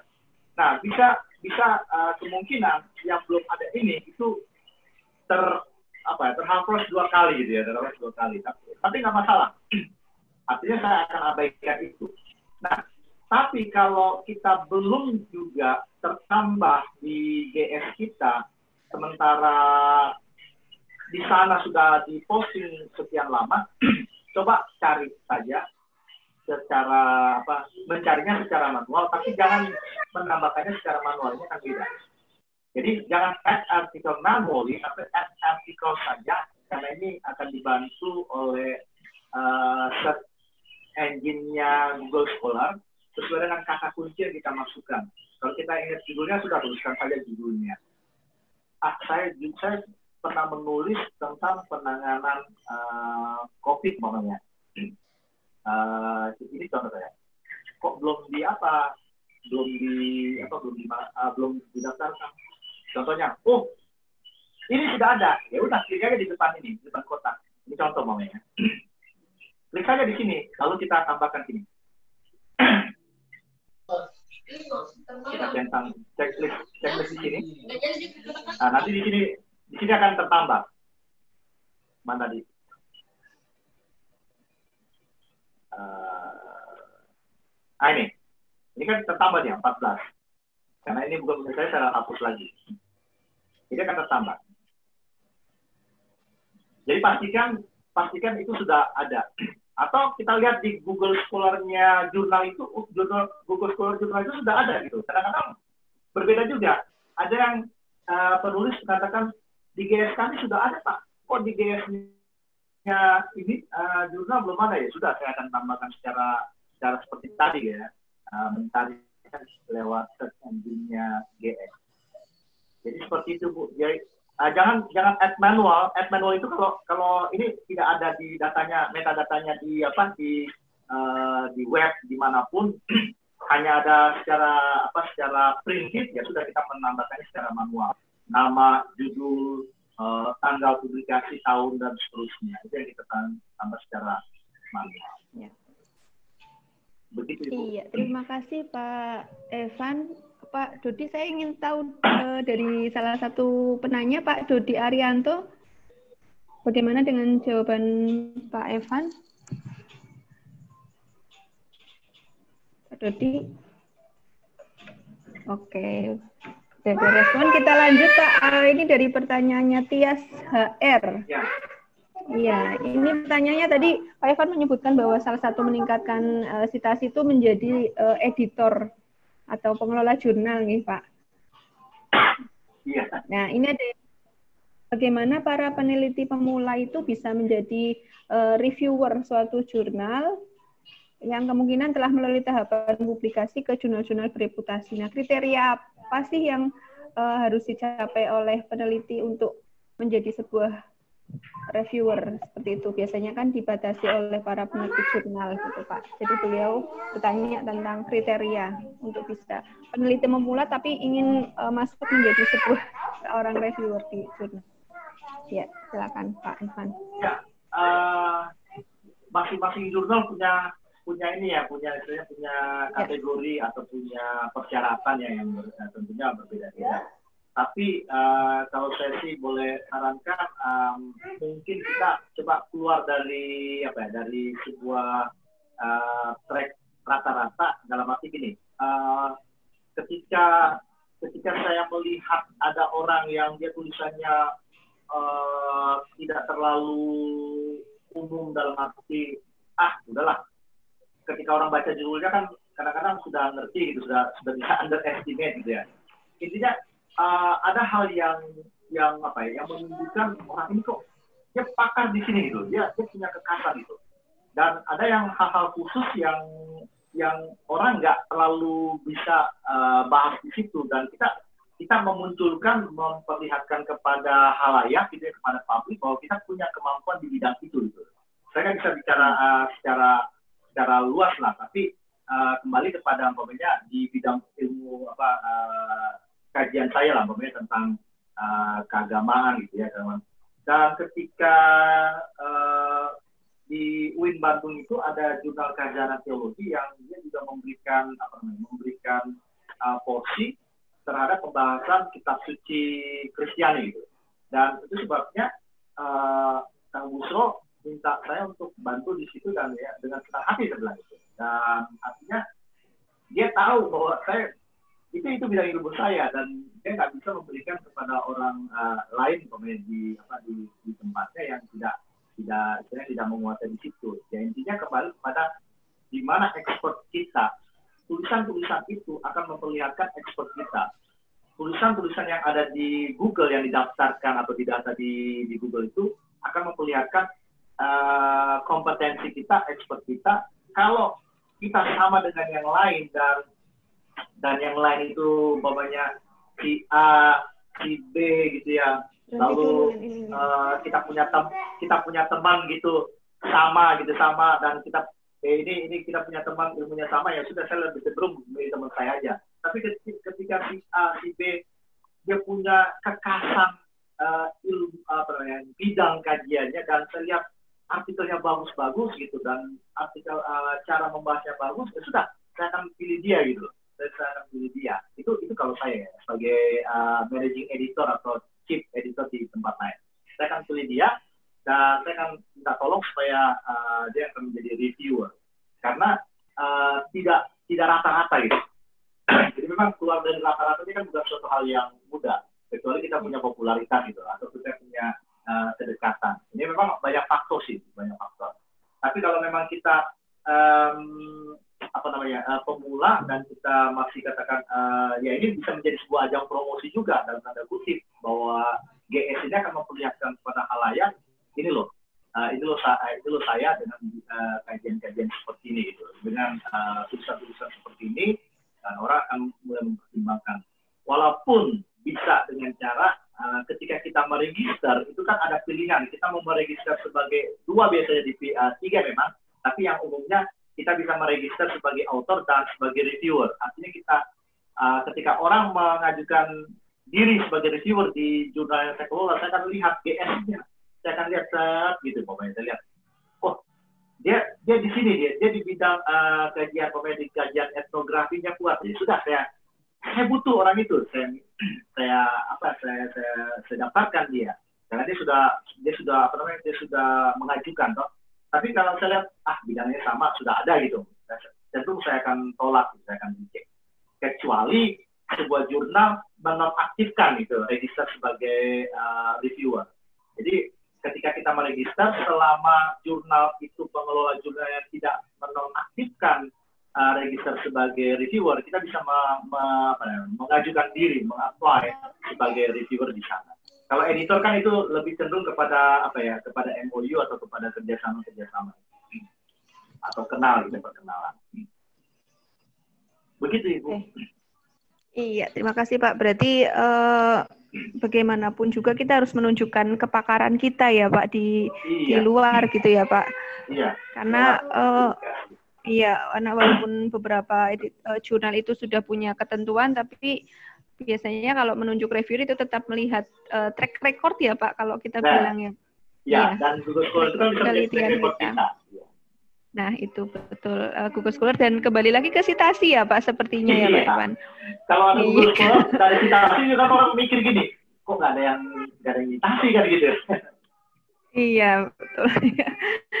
ya, dan kembali ke citasi ya salah satu triknya tadi yang paling uh, mudah kita sebagai dosen ya ke mahasiswa gitu ya Pak? Ya, karena kan itu juga ya, kalau dari saya baca edukasi Bu ya. Iya, betul. Oke. Okay.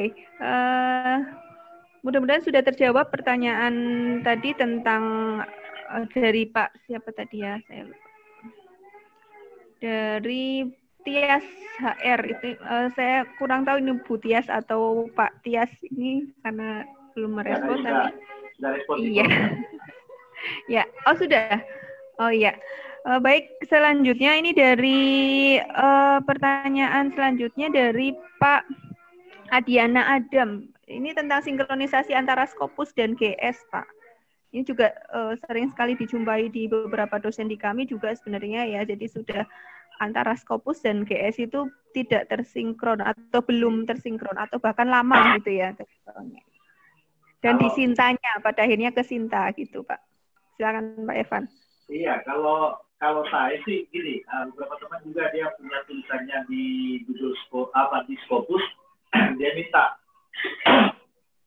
ada teman uh, author, tolong dong ini uh, uh, apa tulisan saya dibantu untuk disitasi gitu, uh, supaya uh, Scopus saya nggak sedang. Kalau yang menyitasi tulisan tulisan bapak di Scopus, artikel bapak di di Scopus gitu dan mau disitasi oleh tulisan-tulisan yang mau di, di apa di publish di GS nggak akan ada dampaknya pak di Scopus gitu. paling namanya di GS.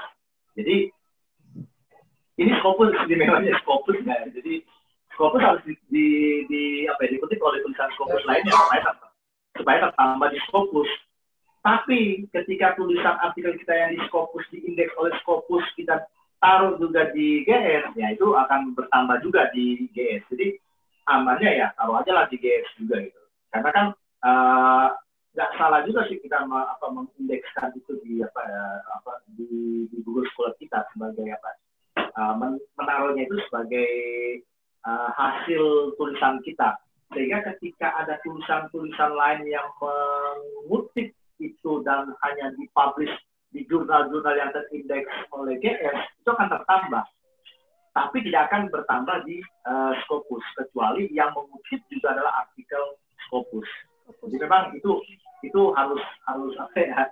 Karena kan eh, kasarannya lah kasarannya itu downgrade ya dari dari indeks tinggi ke indeks rendah ya kan biasanya kan indeks yang paling bawah.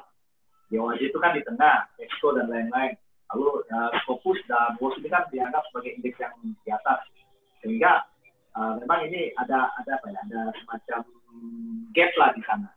Jadi paling yang paling aman saya bilang Pak daftarkan dulu aja di GS-nya supaya nanti yang yang paling tidak tertambah di GS kan sayang gitu ya di, di, di dikutip tapi tidak tidak bertambah ya nggak akan bertambah di Scopus itu karena tulisan bapak tidak di eh, tulisan yang mengutip tulisan bapak itu tidak diindeks oleh Scopus dia akan hanya bertambah di GS. Ya, okay.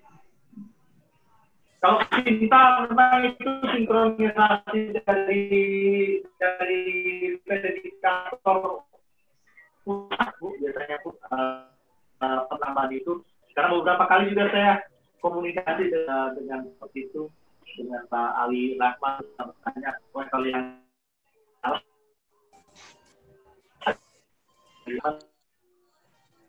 sinkron apa yang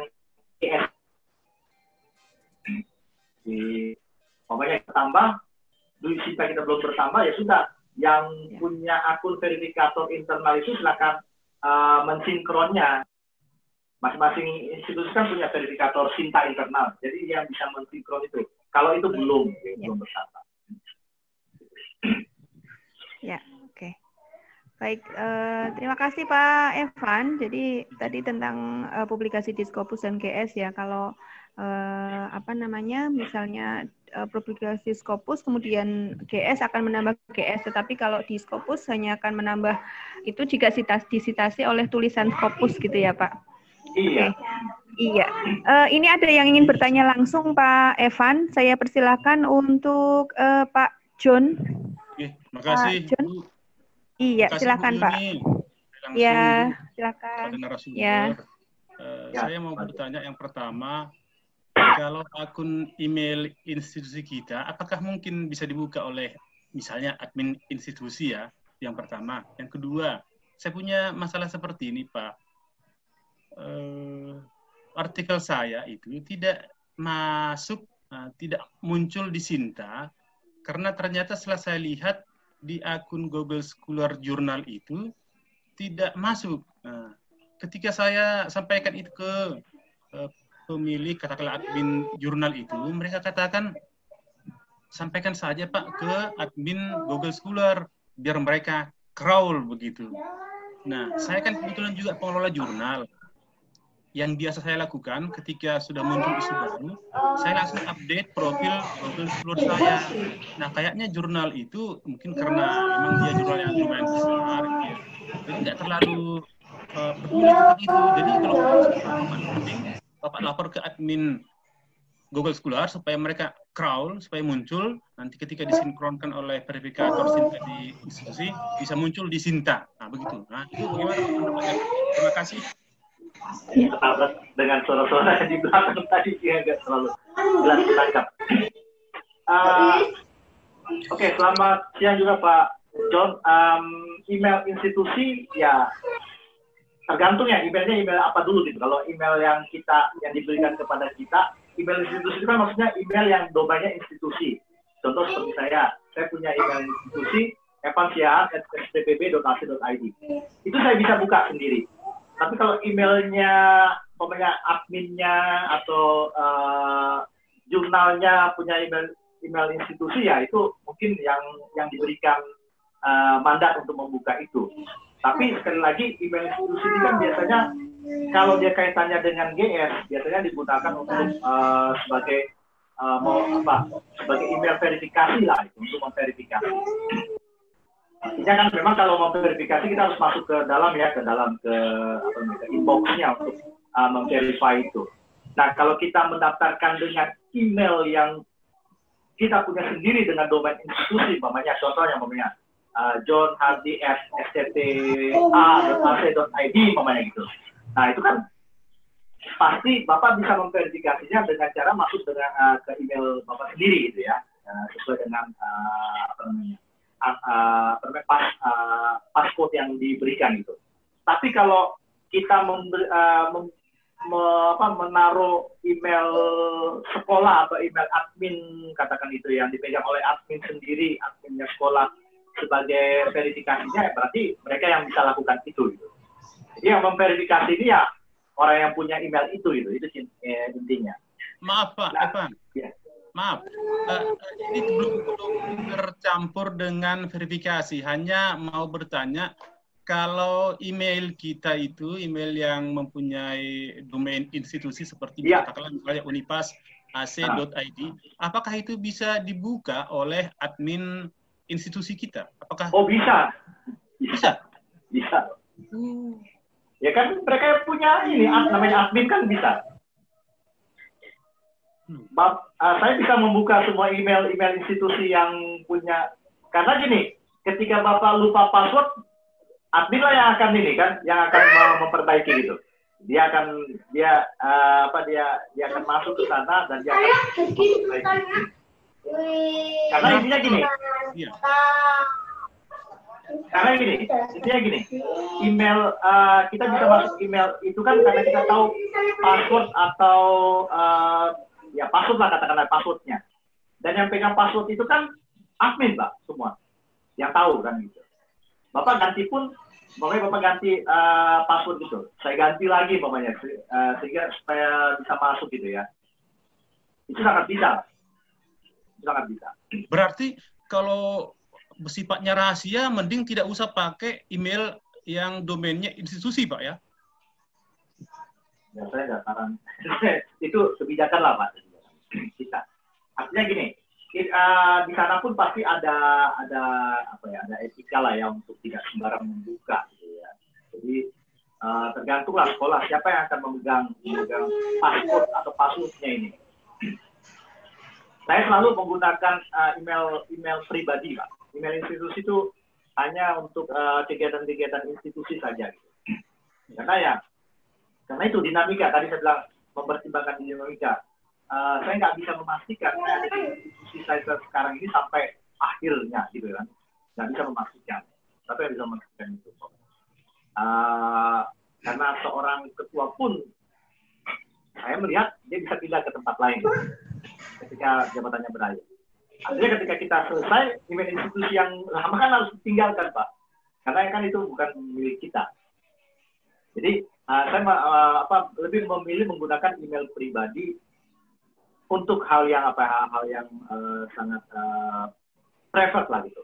Tapi email institusi saya tetap pegang uh, seperti umpamanya untuk akses Google Class atau ke uh, melakukan Google Meet atau yang lain-lain lah nggak masalah dengan uh, dan dan saya perlu itu institusi untuk memverifikasi sampai akhirnya saya harus uh, membeli domain apa uh, domain sendiri untuk uh, kebutuhan verifikasi dan lain-lain. Ya, terima kasih Pak. Ya, bisa, Pak. Untuk pertanyaan yang kedua Pak.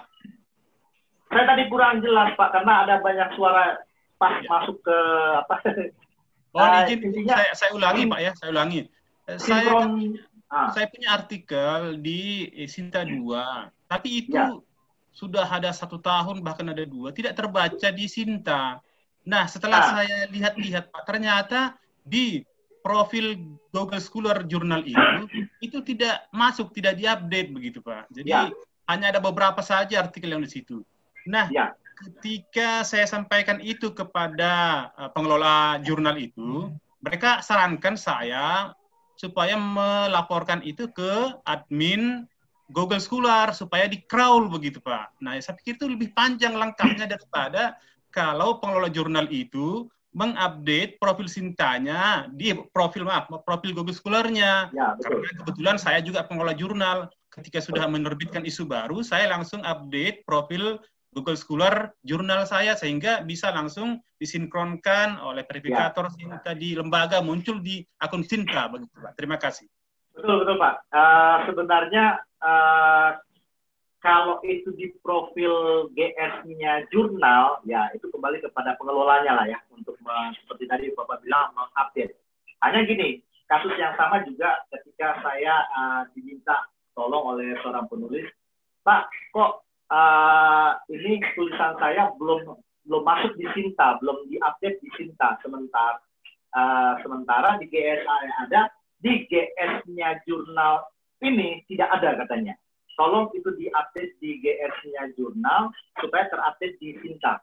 Nah, saya bilang gini, saya bisa saja meng- menolong untuk mengupdate di GS-nya jurnal, tapi kalau di Sinta itu bukan wilayah kita, bahkan bukan wilayah wilayahnya verifikator internal. Itu verifikatornya Sinta langsung yang nanti secara berkala mereka akan memveri, uh, mensinkron. Jadi ada ada yang data-data yang kita nggak bisa masuk ke sana, Pak, uh, sebagai verifikator internal sekalipun ya. Jadi seperti tadi, uh, ketika tulisan kita belum di label S2 atau S4, gitu, ya, Sinta 2, Sinta 4, nah itu nanti memang kita menunggu dari sana. Sekalipun kita belum ada uh, artikel kita belum ada di apa namanya di di, di jurnal uh, di GS-nya jurnal itu nggak pengaruh sebenarnya nggak mempengaruhi. Nggak mempengaruhi karena uh, saya pernah bertanya itu kepada Pak Pak Ali sebagai uh, orang cinta ya langsung. Tentang uh, memang jauh lebih bagus itu diupdate. Tapi sebenarnya uh, secara teknis nggak ada pengaruh karena ketika itu ada dan uh, ketika itu sudah ada itu orang dibaca secara langsung gitu katanya. Cuma memang saya lebih cenderung kepada supaya jurnal uh, uh, pengelola jurnal untuk mengupdate itu kita usul saja uh, supaya pengelola jurnal ya, dengan cara tadi kalaupun di yang nggak bisa menunggu terlalu lama nggak gitu ya sudah add saja add artikel bukan add artikel manual tapi add artikel dengan bantuan untuk mencari di search engine-nya Google Scholar seperti tadi. Jadi memang uh, itu pengelola yang harus me, apa, me, me, mengupdate-nya. Ketika ada penulis seperti itu ya saya juga akan, oh ya terima kasih saya akan update. Karena memang uh, siapa tahu sudah disitasi juga kan, karena itu kan menambah uh, juga. Hanya kalau sinkron di, di apa di, di apa namanya di cinta itu ada ada uh, bagian-bagian tertentu yang kita nggak bisa memang walaupun kita sebagai verifikator internal itu pak Ya, siap. Terima kasih Pak Evan. Terima kasih Bu Yuni. jawab sedikit Bapak? Ya, Oh ya, ini dengan Bu Fida nggih tadi nggih kayaknya. Tadi Pak Oh iya, monggo Ibu. yang terkait eh, Google Scholar Journal tadi nggih. Ya. Saya juga mengalami. Saya juga juga apa namanya pengelola jurnal dan juga verifikator Sinta ya di UMP. Itu pernah juga memang di beberapa jurnal di tempat kami itu juga mengalami hal semacam itu. Artinya di GS-nya itu tidak diupdate sehingga tidak terbaca di skor Sinta dari dosen yang publis di jurnal tersebut. Itu memang eh, menurut informasi dari Sinta Pusat ya, itu memang pengelola jurnalnya tuh harus mengupdate GS-nya iya sehingga nanti terbaca di Sinta Jurnal.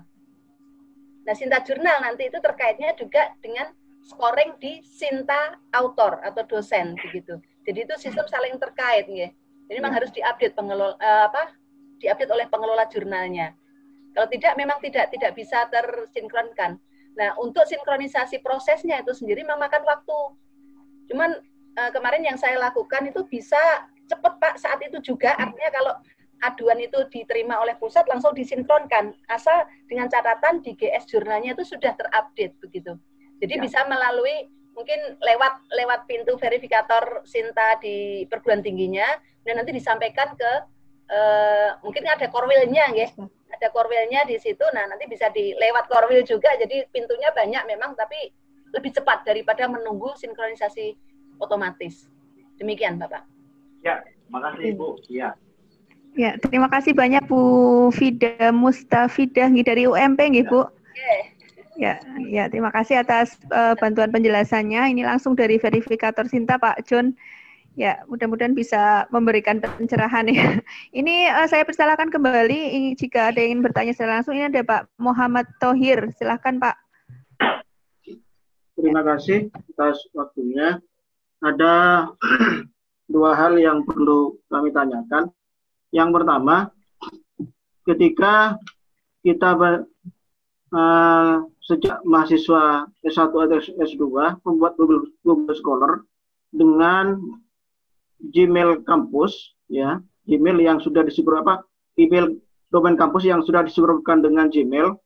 Kemudian ketika menjadi dosen ingin merubah alamat emailnya apakah bisa enggak Pak gitu.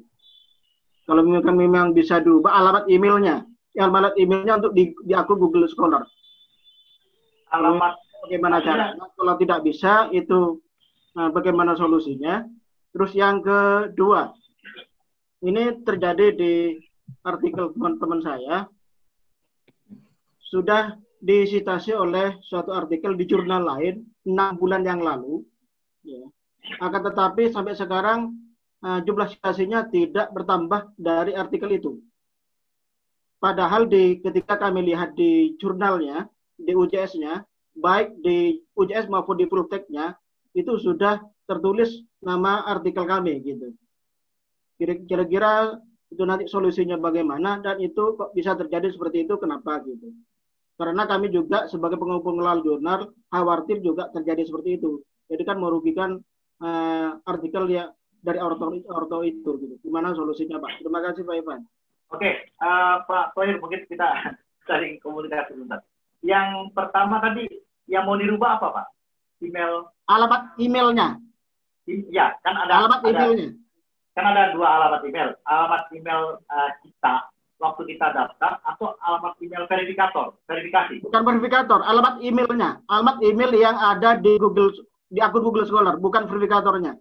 Kalau kita karena gini, kalau kita mau me, apa mendaftar uh, membuat akun GS itu kan berdasarkan basisnya uh, email email Gmail ya. Okay. Nah, kalau kita mau mengganti itu berarti kan kita ganti Google Scholar yang baru, Pak.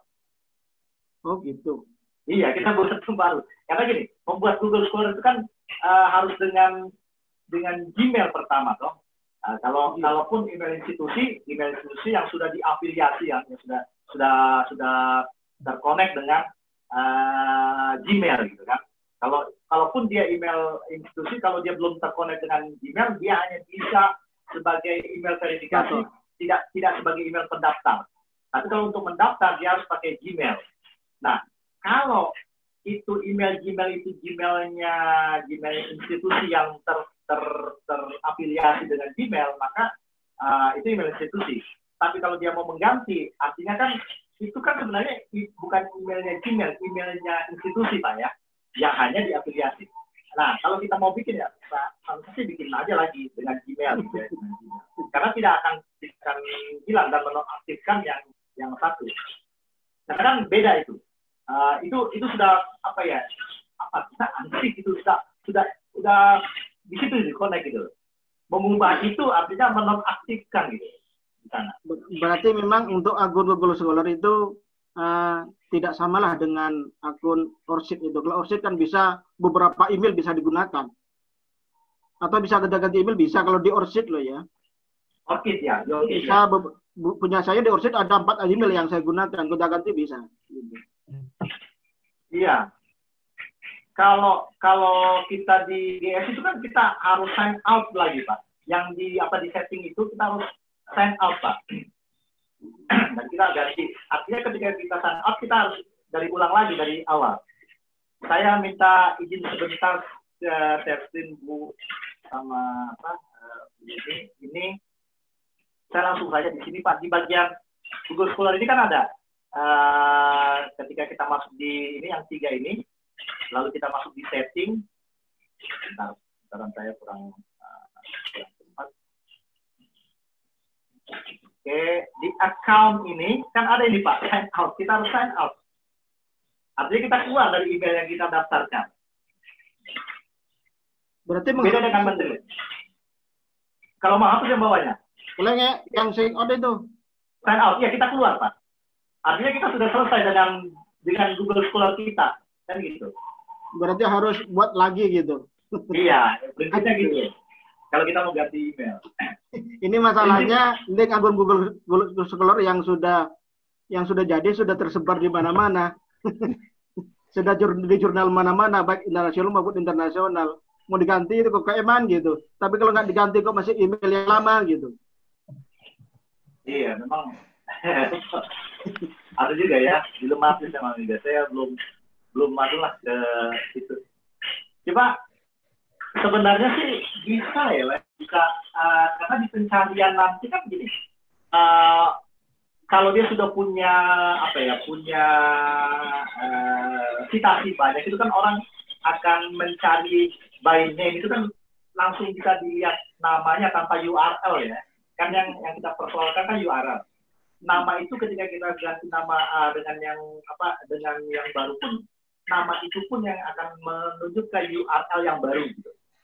Itu pengalaman dari uh, dari teman yang yang salah satu uh, akunnya uh, minta saya hapuskan gitu, saya nonaktifkan. Itu mungkin Pak. Mungkin pun. Kalau kurang memuaskan. Tinggal yang nomor dua. ya tadi nomor dua itu apa Pak ya? Sorry sorry. Kata Ada satu artikel kami ah, yang sudah disitasi oleh artikel lain di jurnal lain itu sampai sampai sekarang sudah enam bulan tidak bertambah citasinya di situ. Padahal artikel yang di jurnal tersebut itu sudah lengkap daftar pustakanya baik di OJS maupun di full text-nya. Gitu. Kira-kira itu masalahnya apa atau bagaimana solusinya? Ya, memang uh, sama Pak. Kita mengalami kendala yang kadang-kadang ketemu yang sama. Dan ketika saya juga coba bertanya dengan teman-teman yang lain, jawabannya pun akan sama, kembali kepada ya itu robotnya Google lah. Dalam arti gini, kita nggak bisa memprediksi, seperti saya katakan nggak bisa memprediksi. Saya kehilangan kadang uh, bisa hilang tiga atau lima citasi gitu ya. Saya di sana masih ada gitu ya. Tapi nanti kok bisa hilang gitu. Bingung juga kadang-kadang. Eh, sebenarnya nggak 135 itu bisa 100 hampir 100 hampir 150 itu saya punya uh, citasi itu cuma beberapa hilang ya udah saya mau bilang apa lagi gitu. Kadang-kadang seperti itu Pak. Itu yang sampai sekarang juga kadang-kadang uh, kita nggak bisa menjelaskan secara detail karena ya hubungannya kepada itu kepada uh, robot Google yang menghapus. Nyata-nyata ada. Kalau citasi dari buku, saya tidak terlalu mempermasalahkan. Ini masalahnya sesama artikel gitu. Soalnya kalau Ya. dari buku, dari dari saya sendiri ada 120 citasi yang tidak terbaca gitu. Tapi setelah ditelusuri ada dua- 120 yang citasi buku kami ternyata tidak bertambah gitu. Kalau buku. Tapi kalau satu artikel kok bisa begitu gitu. Hmm. Iya Pak, itu yang uh, terus terang kita juga masih mengalami kendala yang sama. Maaf Pak Tohir, kurang memuaskan Pak oke. Tohir, maaf Pak Tohir. Terima kasih, terima kasih. Ya, oke. Ya, eh, terima kasih Pak Tohir. Eh, selanjutnya, sebelum ke Zoom chat, saya persilakan Ibu Oktiva Anggraini. Silakan Bu. Terima kasih untuk waktu yang diberikan pada saya, Bapak Pembicara yang terhormat. Saya mempunyai pengalaman begini, jadi di tahun yang lalu saya ikut kurikulum jurnal di sebuah Suaranya Ibu maaf. Mohon maaf. Mohon maaf sebentar Bu Oktiva saya potong suaranya kurang jelas terputus-putus. Uh, Ya. Sudah, sudah, sudah, sudah, Bu. Halo. Masih Halo? belum jelas ya Pak Evan? Iya, ah, Ya, eh. sudah Bu. Iya, mohon maaf iya Ibu masih terputus-putus suaranya Ibu. Kurang iya, kurang lancar. Sudah. Sudah, Bu. Halo. Iya. Ya, sudah, Bu. Eh, belum Ibu. Diterima di Oh, Oke, kamu tadi pakai ya? Sinyal, sinyal kayaknya. Coba saya rem. Iya, mungkin bisa dituliskan ngeten apa pripun Bu? Iya. Oh, dia, dia, dia.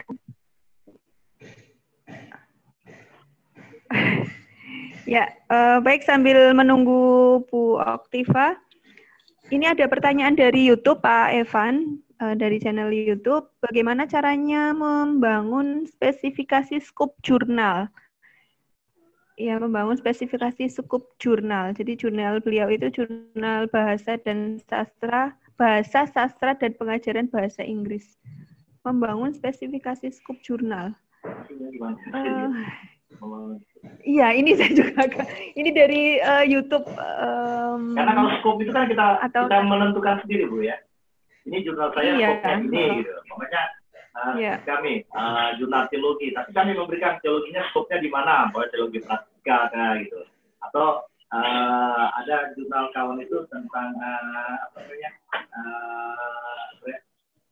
yang inilah uh, teman ini yang kawan kita Busro, pokoknya punya jurnal Kazana Teologi. Dia punya scope-nya. Ini teologi uh, teologi Islamnya ada, Kristennya ada, mau gitu. Jadi ada scope-nya gitu.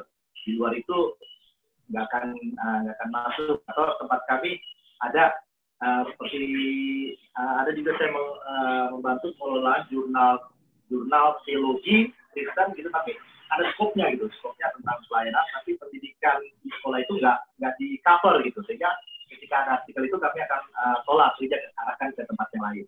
Jadi kalau scope itu kan kita yang menentukan sesuai dengan ilmu Iya, yang uh, mungkin betul. umum, nanti kita persempit lagi.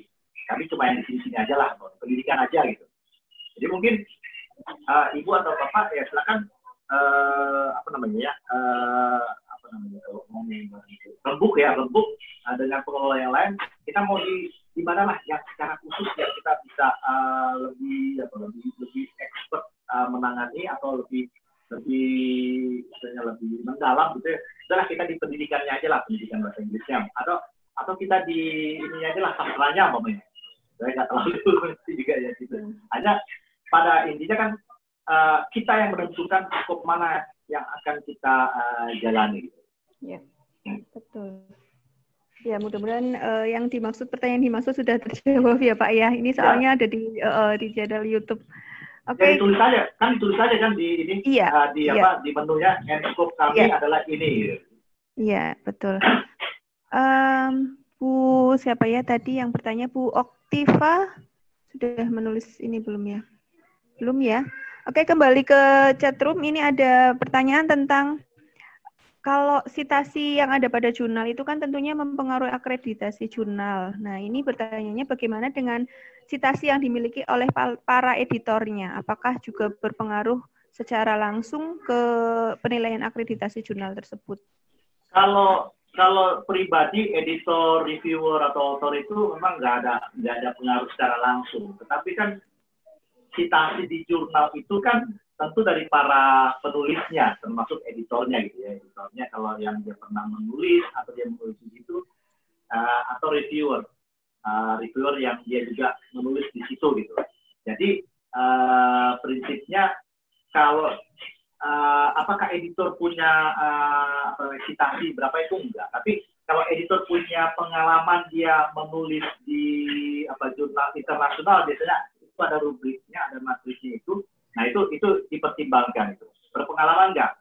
Berapa jumlah editor kita? Editor kita umpamanya katakan 10. Lebih dari 50% sudah punya ID Scopus. Artinya itu indikator dia punya pengalaman uh, publikasi di jurnal internasional. Nah itu ada ada poinnya itu. Jadi lima, lebih dari 50% itu sudah ada poin tersendiri. Entah mau disitasi apa tidak, tapi yang penting mereka punya uh, apa punya pengalaman ya. Cuma itu itu saja yang dimintakan punya pengalaman uh, me- apa, mempublikasi di jurnal internasional. Buktinya apa? Mereka punya ID Scopus. Uh, minimal itu.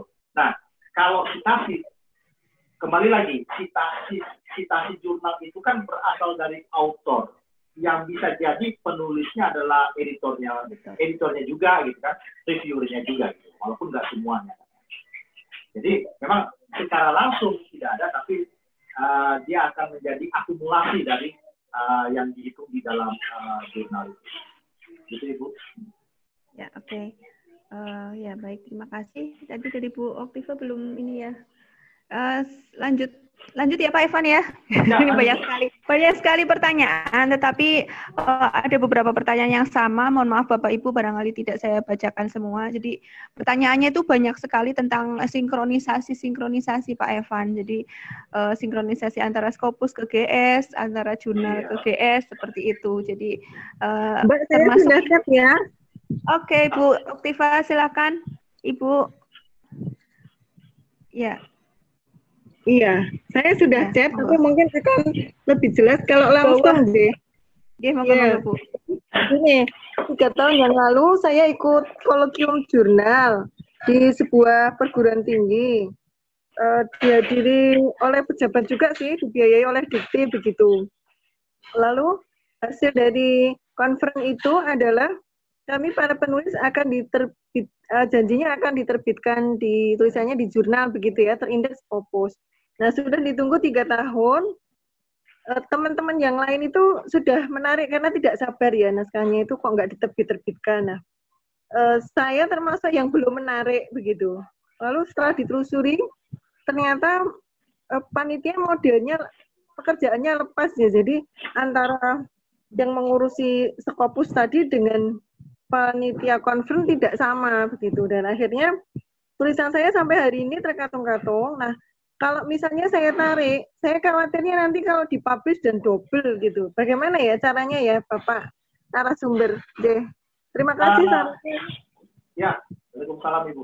Eh, kalau kalau saya sih pengalaman dijanjikan juga dulu pernah ya, pernah itu ya sudahlah.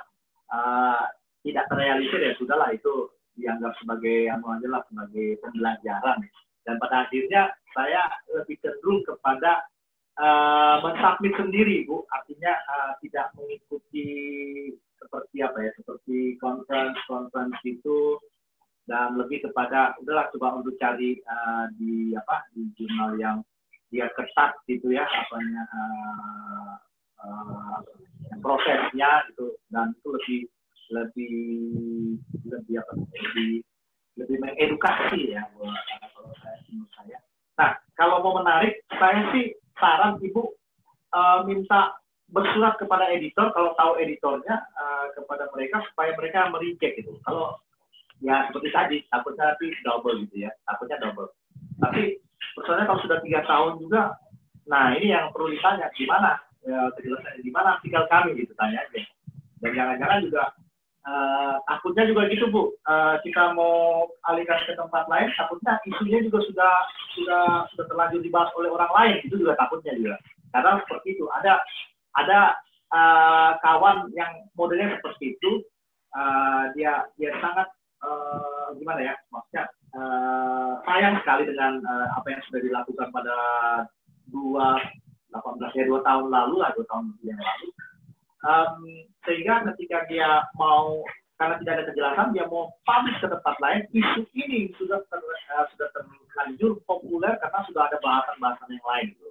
sudah overlap sehingga bah, eh, apa ya bahasa vulgarnya mungkin katakanlah eh, sedang eh, sudah basi buat buat kawan ini sehingga kalau masuk ke jurnal-jurnal internasional pun ini menjadi sebuah pertimbangan yang harus apa ya harus eh, diperhatikan jadi kalau kalau kalau ya yang seperti itu ya kita gimana ya?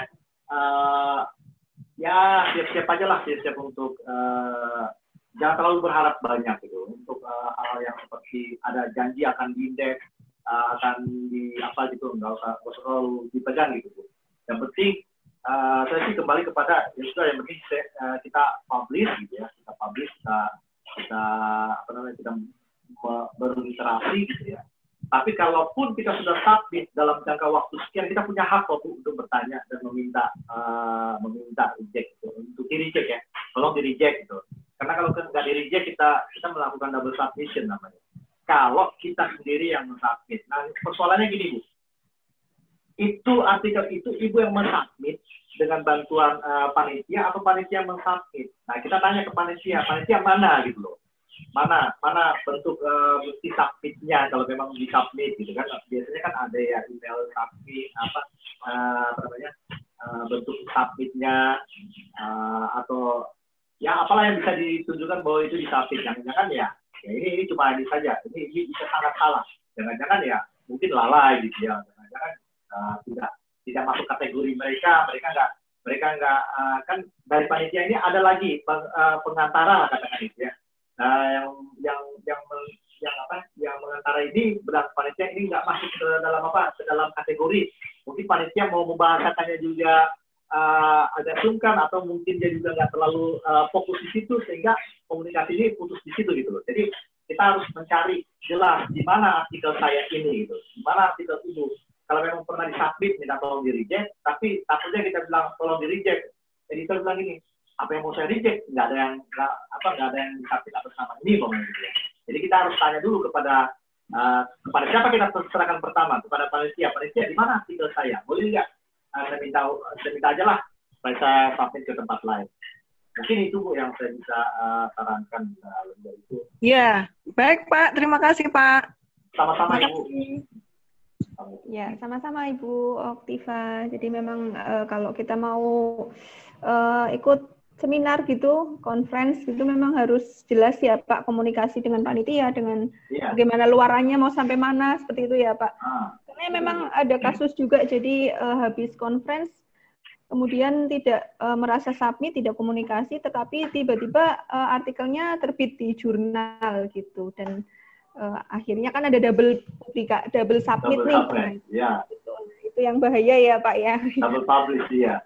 Iya, double publish nantinya. Takutnya kalau double submit, nantinya double publish. Kita nggak kenal, Bu.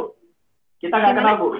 Kita nggak kenal kalau double submit, double publish. Jurnal yang kena. Oh iya, oke. Okay. kita nggak kena. Jurnal yang kena. Iya, kalau bukan kita ya, Pak. oke, jurnalnya. Paling paling kita yang kena di di blacklist sama mereka. Nah, itu itu. Ya, oh, jadi mereka. Ya. Nah, iya itu. Oke. Okay. Ya, kemudian ada banyak sekali. Ada pertanyaan juga ini tentang ini Pak, ini kembali lagi ke sinkronisasi Sinta. Memang uh, sudah publish, sudah terindeks di Sinta. Jurnalnya itu Sinta 3 sebenarnya di website. Tetapi di di Sintanya itu, Sintanya autor itu tidak tertulis bahwa artikel itu Sinta 3 gitu. Jadi dianggapnya tidak terakreditasi seperti itu, Pak. Ini juga banyak ah. Ya. ya, itu itu saya juga mengalami Bu. Dan ya. ketika saya uh, karena saya lebih banyak komunikasi dengan Pak Ali Rahman ya yang dari apa Cinta juga. Uh, tunggu aja sinkronisasi dari ini katanya Cinta pusat katanya. Kadang-kadang seperti itu uh, jawabannya. Ya sudah kalau sudah jawab seperti itu ya mau bilang apa lagi? Karena memang kita nggak punya nggak punya wilayah untuk menyinkron uh, memberi label itu bu untuk yang apa? Saya saya saya, saya verifikator internal juga. Uh, dan ketika saya cari gitu nggak ada menunya untuk itu. Dan saya ketika saya tanya kepada Pak Ali ini gimana? Uh, ini ini kan di sini gitu ya. Uh, sudah masuk di ini di apa dan saya tunjukkan di di apa di di Sinta itu di apa namanya di laman jurnal itu dia sudah ini dia dia Sinta 4 itu Sinta 4 tapi kok di tulisannya dia ini kok belum dapat label S4 gitu. Sehingga uh, itu kan bisa mendongkrak skor ya 20 kan poinnya itu 20 sehingga Pak Ali bilang ya itu kalau yang seperti tunggu sinkronisasi uh, nanti secara berkala dari tingkat pusat. Ya sudah kita tunggu dua minggu lebih baru uh, itu disinkronisasi sinkronisasi dan itu muncul. Dan memang itu bukan wilayahnya atau bukan uh, kerjanya verifikator internal. Dan juga nggak bisa. Yang seperti itu nggak bisa mau ngapa-ngapain juga nggak bisa karena kan itu urusan mereka. Kalian harus bertunggu dengan sabar aja. Atau kita menghubungi help help desk-nya Sinta itu bu, kan ada ada email ya help desk itu ya itu kita paling usul tolong ini seperti ini seperti ini bersyukur ya ditanggapi secara cepat. Iya. Jadi tempuh semua jalan ya Pak. Iya. semua jalan ya. Bisa jawab Bu Yuni. Uh, ya, Iya. Ya, oke, okay. ada Pak Hoiril. Ada Pak Hoiril, silakan. silakan ini. Mas Hoiril, ya, silakan. Di Kakak. Apa itu? Uh, ini juga saya uh, yang seperti itu uh, di chat tadi kayaknya ada ada teman ya. Suara ya? putus suara di Bang nanti kan bisa diklik kemudian ya. Kurang lagi mas. ini tadi delay lancar. ya. Ada ada yang memposting itu form dari dari Sinta Pusat atau penulis yang tulisannya itu tidak tertulis di Sinta berapa, tapi uncategorized. Hmm. Jadi nanti bisa diisi, kemudian dikirimkan ke helpdesk Sintanya. Dan itu uh, betul tadi yang disampaikan dari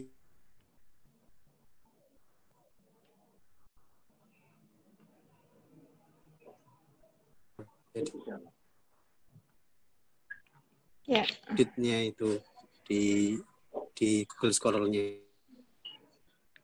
Oke. Okay. Bisa pakai uh, form form itu berarti ya Bang Hoiril? Ya, form yang diposting tadi ada yang memposting tadi. Oh iya, itu bisa dilihat Bapak Ibu di Zoom hmm. chat itu. Nah, yang ada tulisan uncategorized itu tadi. Iya. Uh, postingan dari Pak Yohanes Mikel tadi ya, Pak Mas Hoiril kayaknya ya. Di yang bawah Dan itu. memang uh, apa itu kalau kalau yang di Google Scholar itu tidak tertulis uh, benar itu biasanya ya dari crawlingnya itu dari saya seperti itu. Mohon maaf. Oke. Okay. sekitar saja Oke, matur nuwun. Ya, terima kasih Mas Hairil. Uh, ya, Bapak Ibu, itu ya ada di postingan di Zoom chat itu tentang uh, jika artikel di Sinta masih tercatat uncategorized itu monggo itu bisa menggunakan form.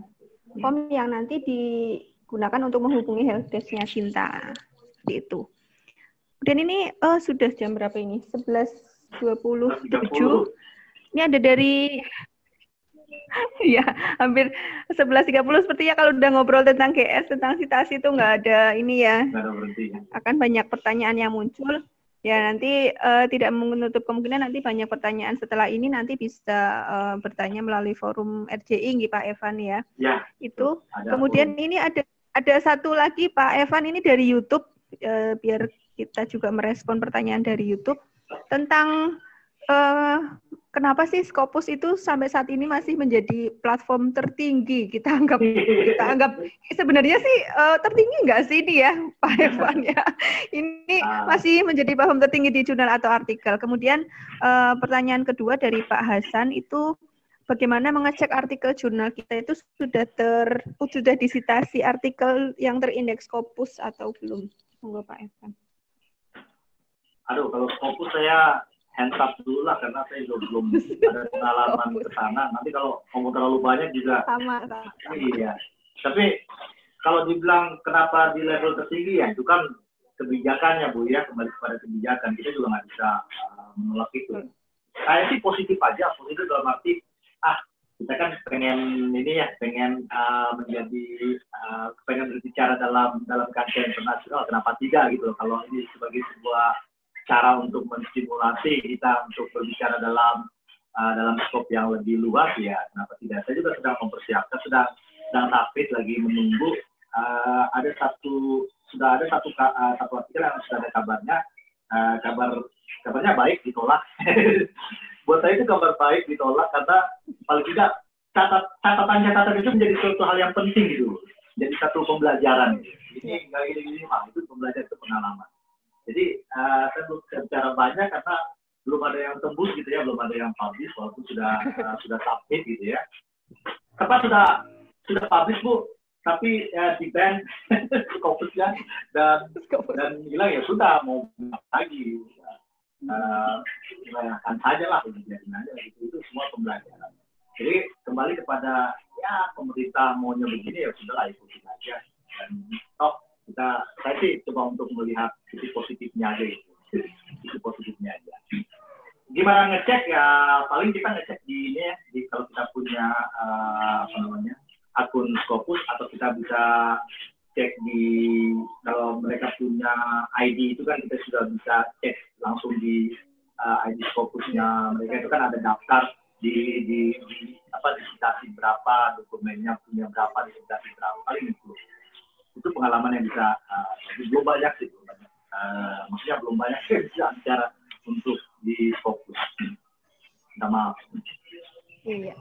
Terima kasih Pak Evan. Ya sudah artinya waktunya sudah ini ya. Uh, sudah menunjukkan pukul 11.31 uh, Um, cukup Pak Evan? Atau Bapak Ibu? Nah, saya, mungkin ada... saya ikut aja. ikut aja. Ya, Bapak Ibu, uh, bagaimana mungkin uh, ada yang ingin satu lagi secara langsung bertanya? Tidak ada? Ya, kalau tidak ada mungkin uh, dicukupkan saja ya untuk siang hari ini sudah menunjukkan 11.31. Uh, terima kasih Pak Has Evan atas ilmunya yang sudah disampaikan kepada Bapak Ibu semuanya. Ya, terima kasih banyak. Iya, terima kasih juga untuk Bapak Ibu yang sudah uh, setia dari pagi tetap standby di sini hingga akhir acara. Mudah-mudahan apa yang sudah kita diskusikan, kita sharing pada pagi hingga siang hari ini memberikan banyak manfaat, khususnya terkait dengan citasi dan Google Scholar ya, citasi tentang hasil-hasil penelitian kita. Dan tentunya bisa menambah semangat kita ya untuk uh, terus-menerus publikasi ya, untuk dan terus melakukan publikasi. Kemudian untuk uh, materi dan sertifikat uh, webinar pada siang hari ini. Ini saya share kembali linknya. Ya, ini untuk link dari materi, URL materi dan sertifikat bisa Bapak Ibu dapatkan dengan mengisi uh, dengan mengunjungi bit.ly slash daftar FCI Jateng, kemudian mengikuti yang ada di situ, nanti akan kami kirimkan materi dan sertifikatnya melalui email Bapak Ibu semuanya. Kemudian untuk uh, rekaman dari webinar pada siang hari ini nanti akan diupload di YouTube channel RCI. Kemudian jika ada pertanyaan-pertanyaan yang ingin disampaikan, bisa juga mengunjungi kami RCI Relawan Jurnal Indonesia di Facebook, Twitter maupun di Instagram kami. Bisa di-follow beberapa medsos dari Relawan Jurnal Indonesia. Begitu Pak Ivan dan Pak Ivan dan Bapak Ibu semuanya. Saya selaku moderator uh, mohon maaf apabila terdapat kekeliruan, terdapat kekurangan selama membersamai Bapak Ibu semuanya di webinar pada hari ini. Sebelumnya mungkin bisa diaktifkan uh, videonya ya barangkali biar saya bisa semuanya. Ya. Terima kasih saya sampaikan. Ya, dari Bapak, Bapak Ibu semuanya yang sudah bergabung. Uh, saya tutup uh, acara pada pagi hari ini hingga siang ini dengan bagi yang beragama Muslim, uh, mari kita mengucapkan hamdalah bagi yang Muslim menyesuaikan. Alhamdulillah. Saya akhiri. Terima kasih. Uh, selamat siang. Assalamualaikum warahmatullahi wabarakatuh.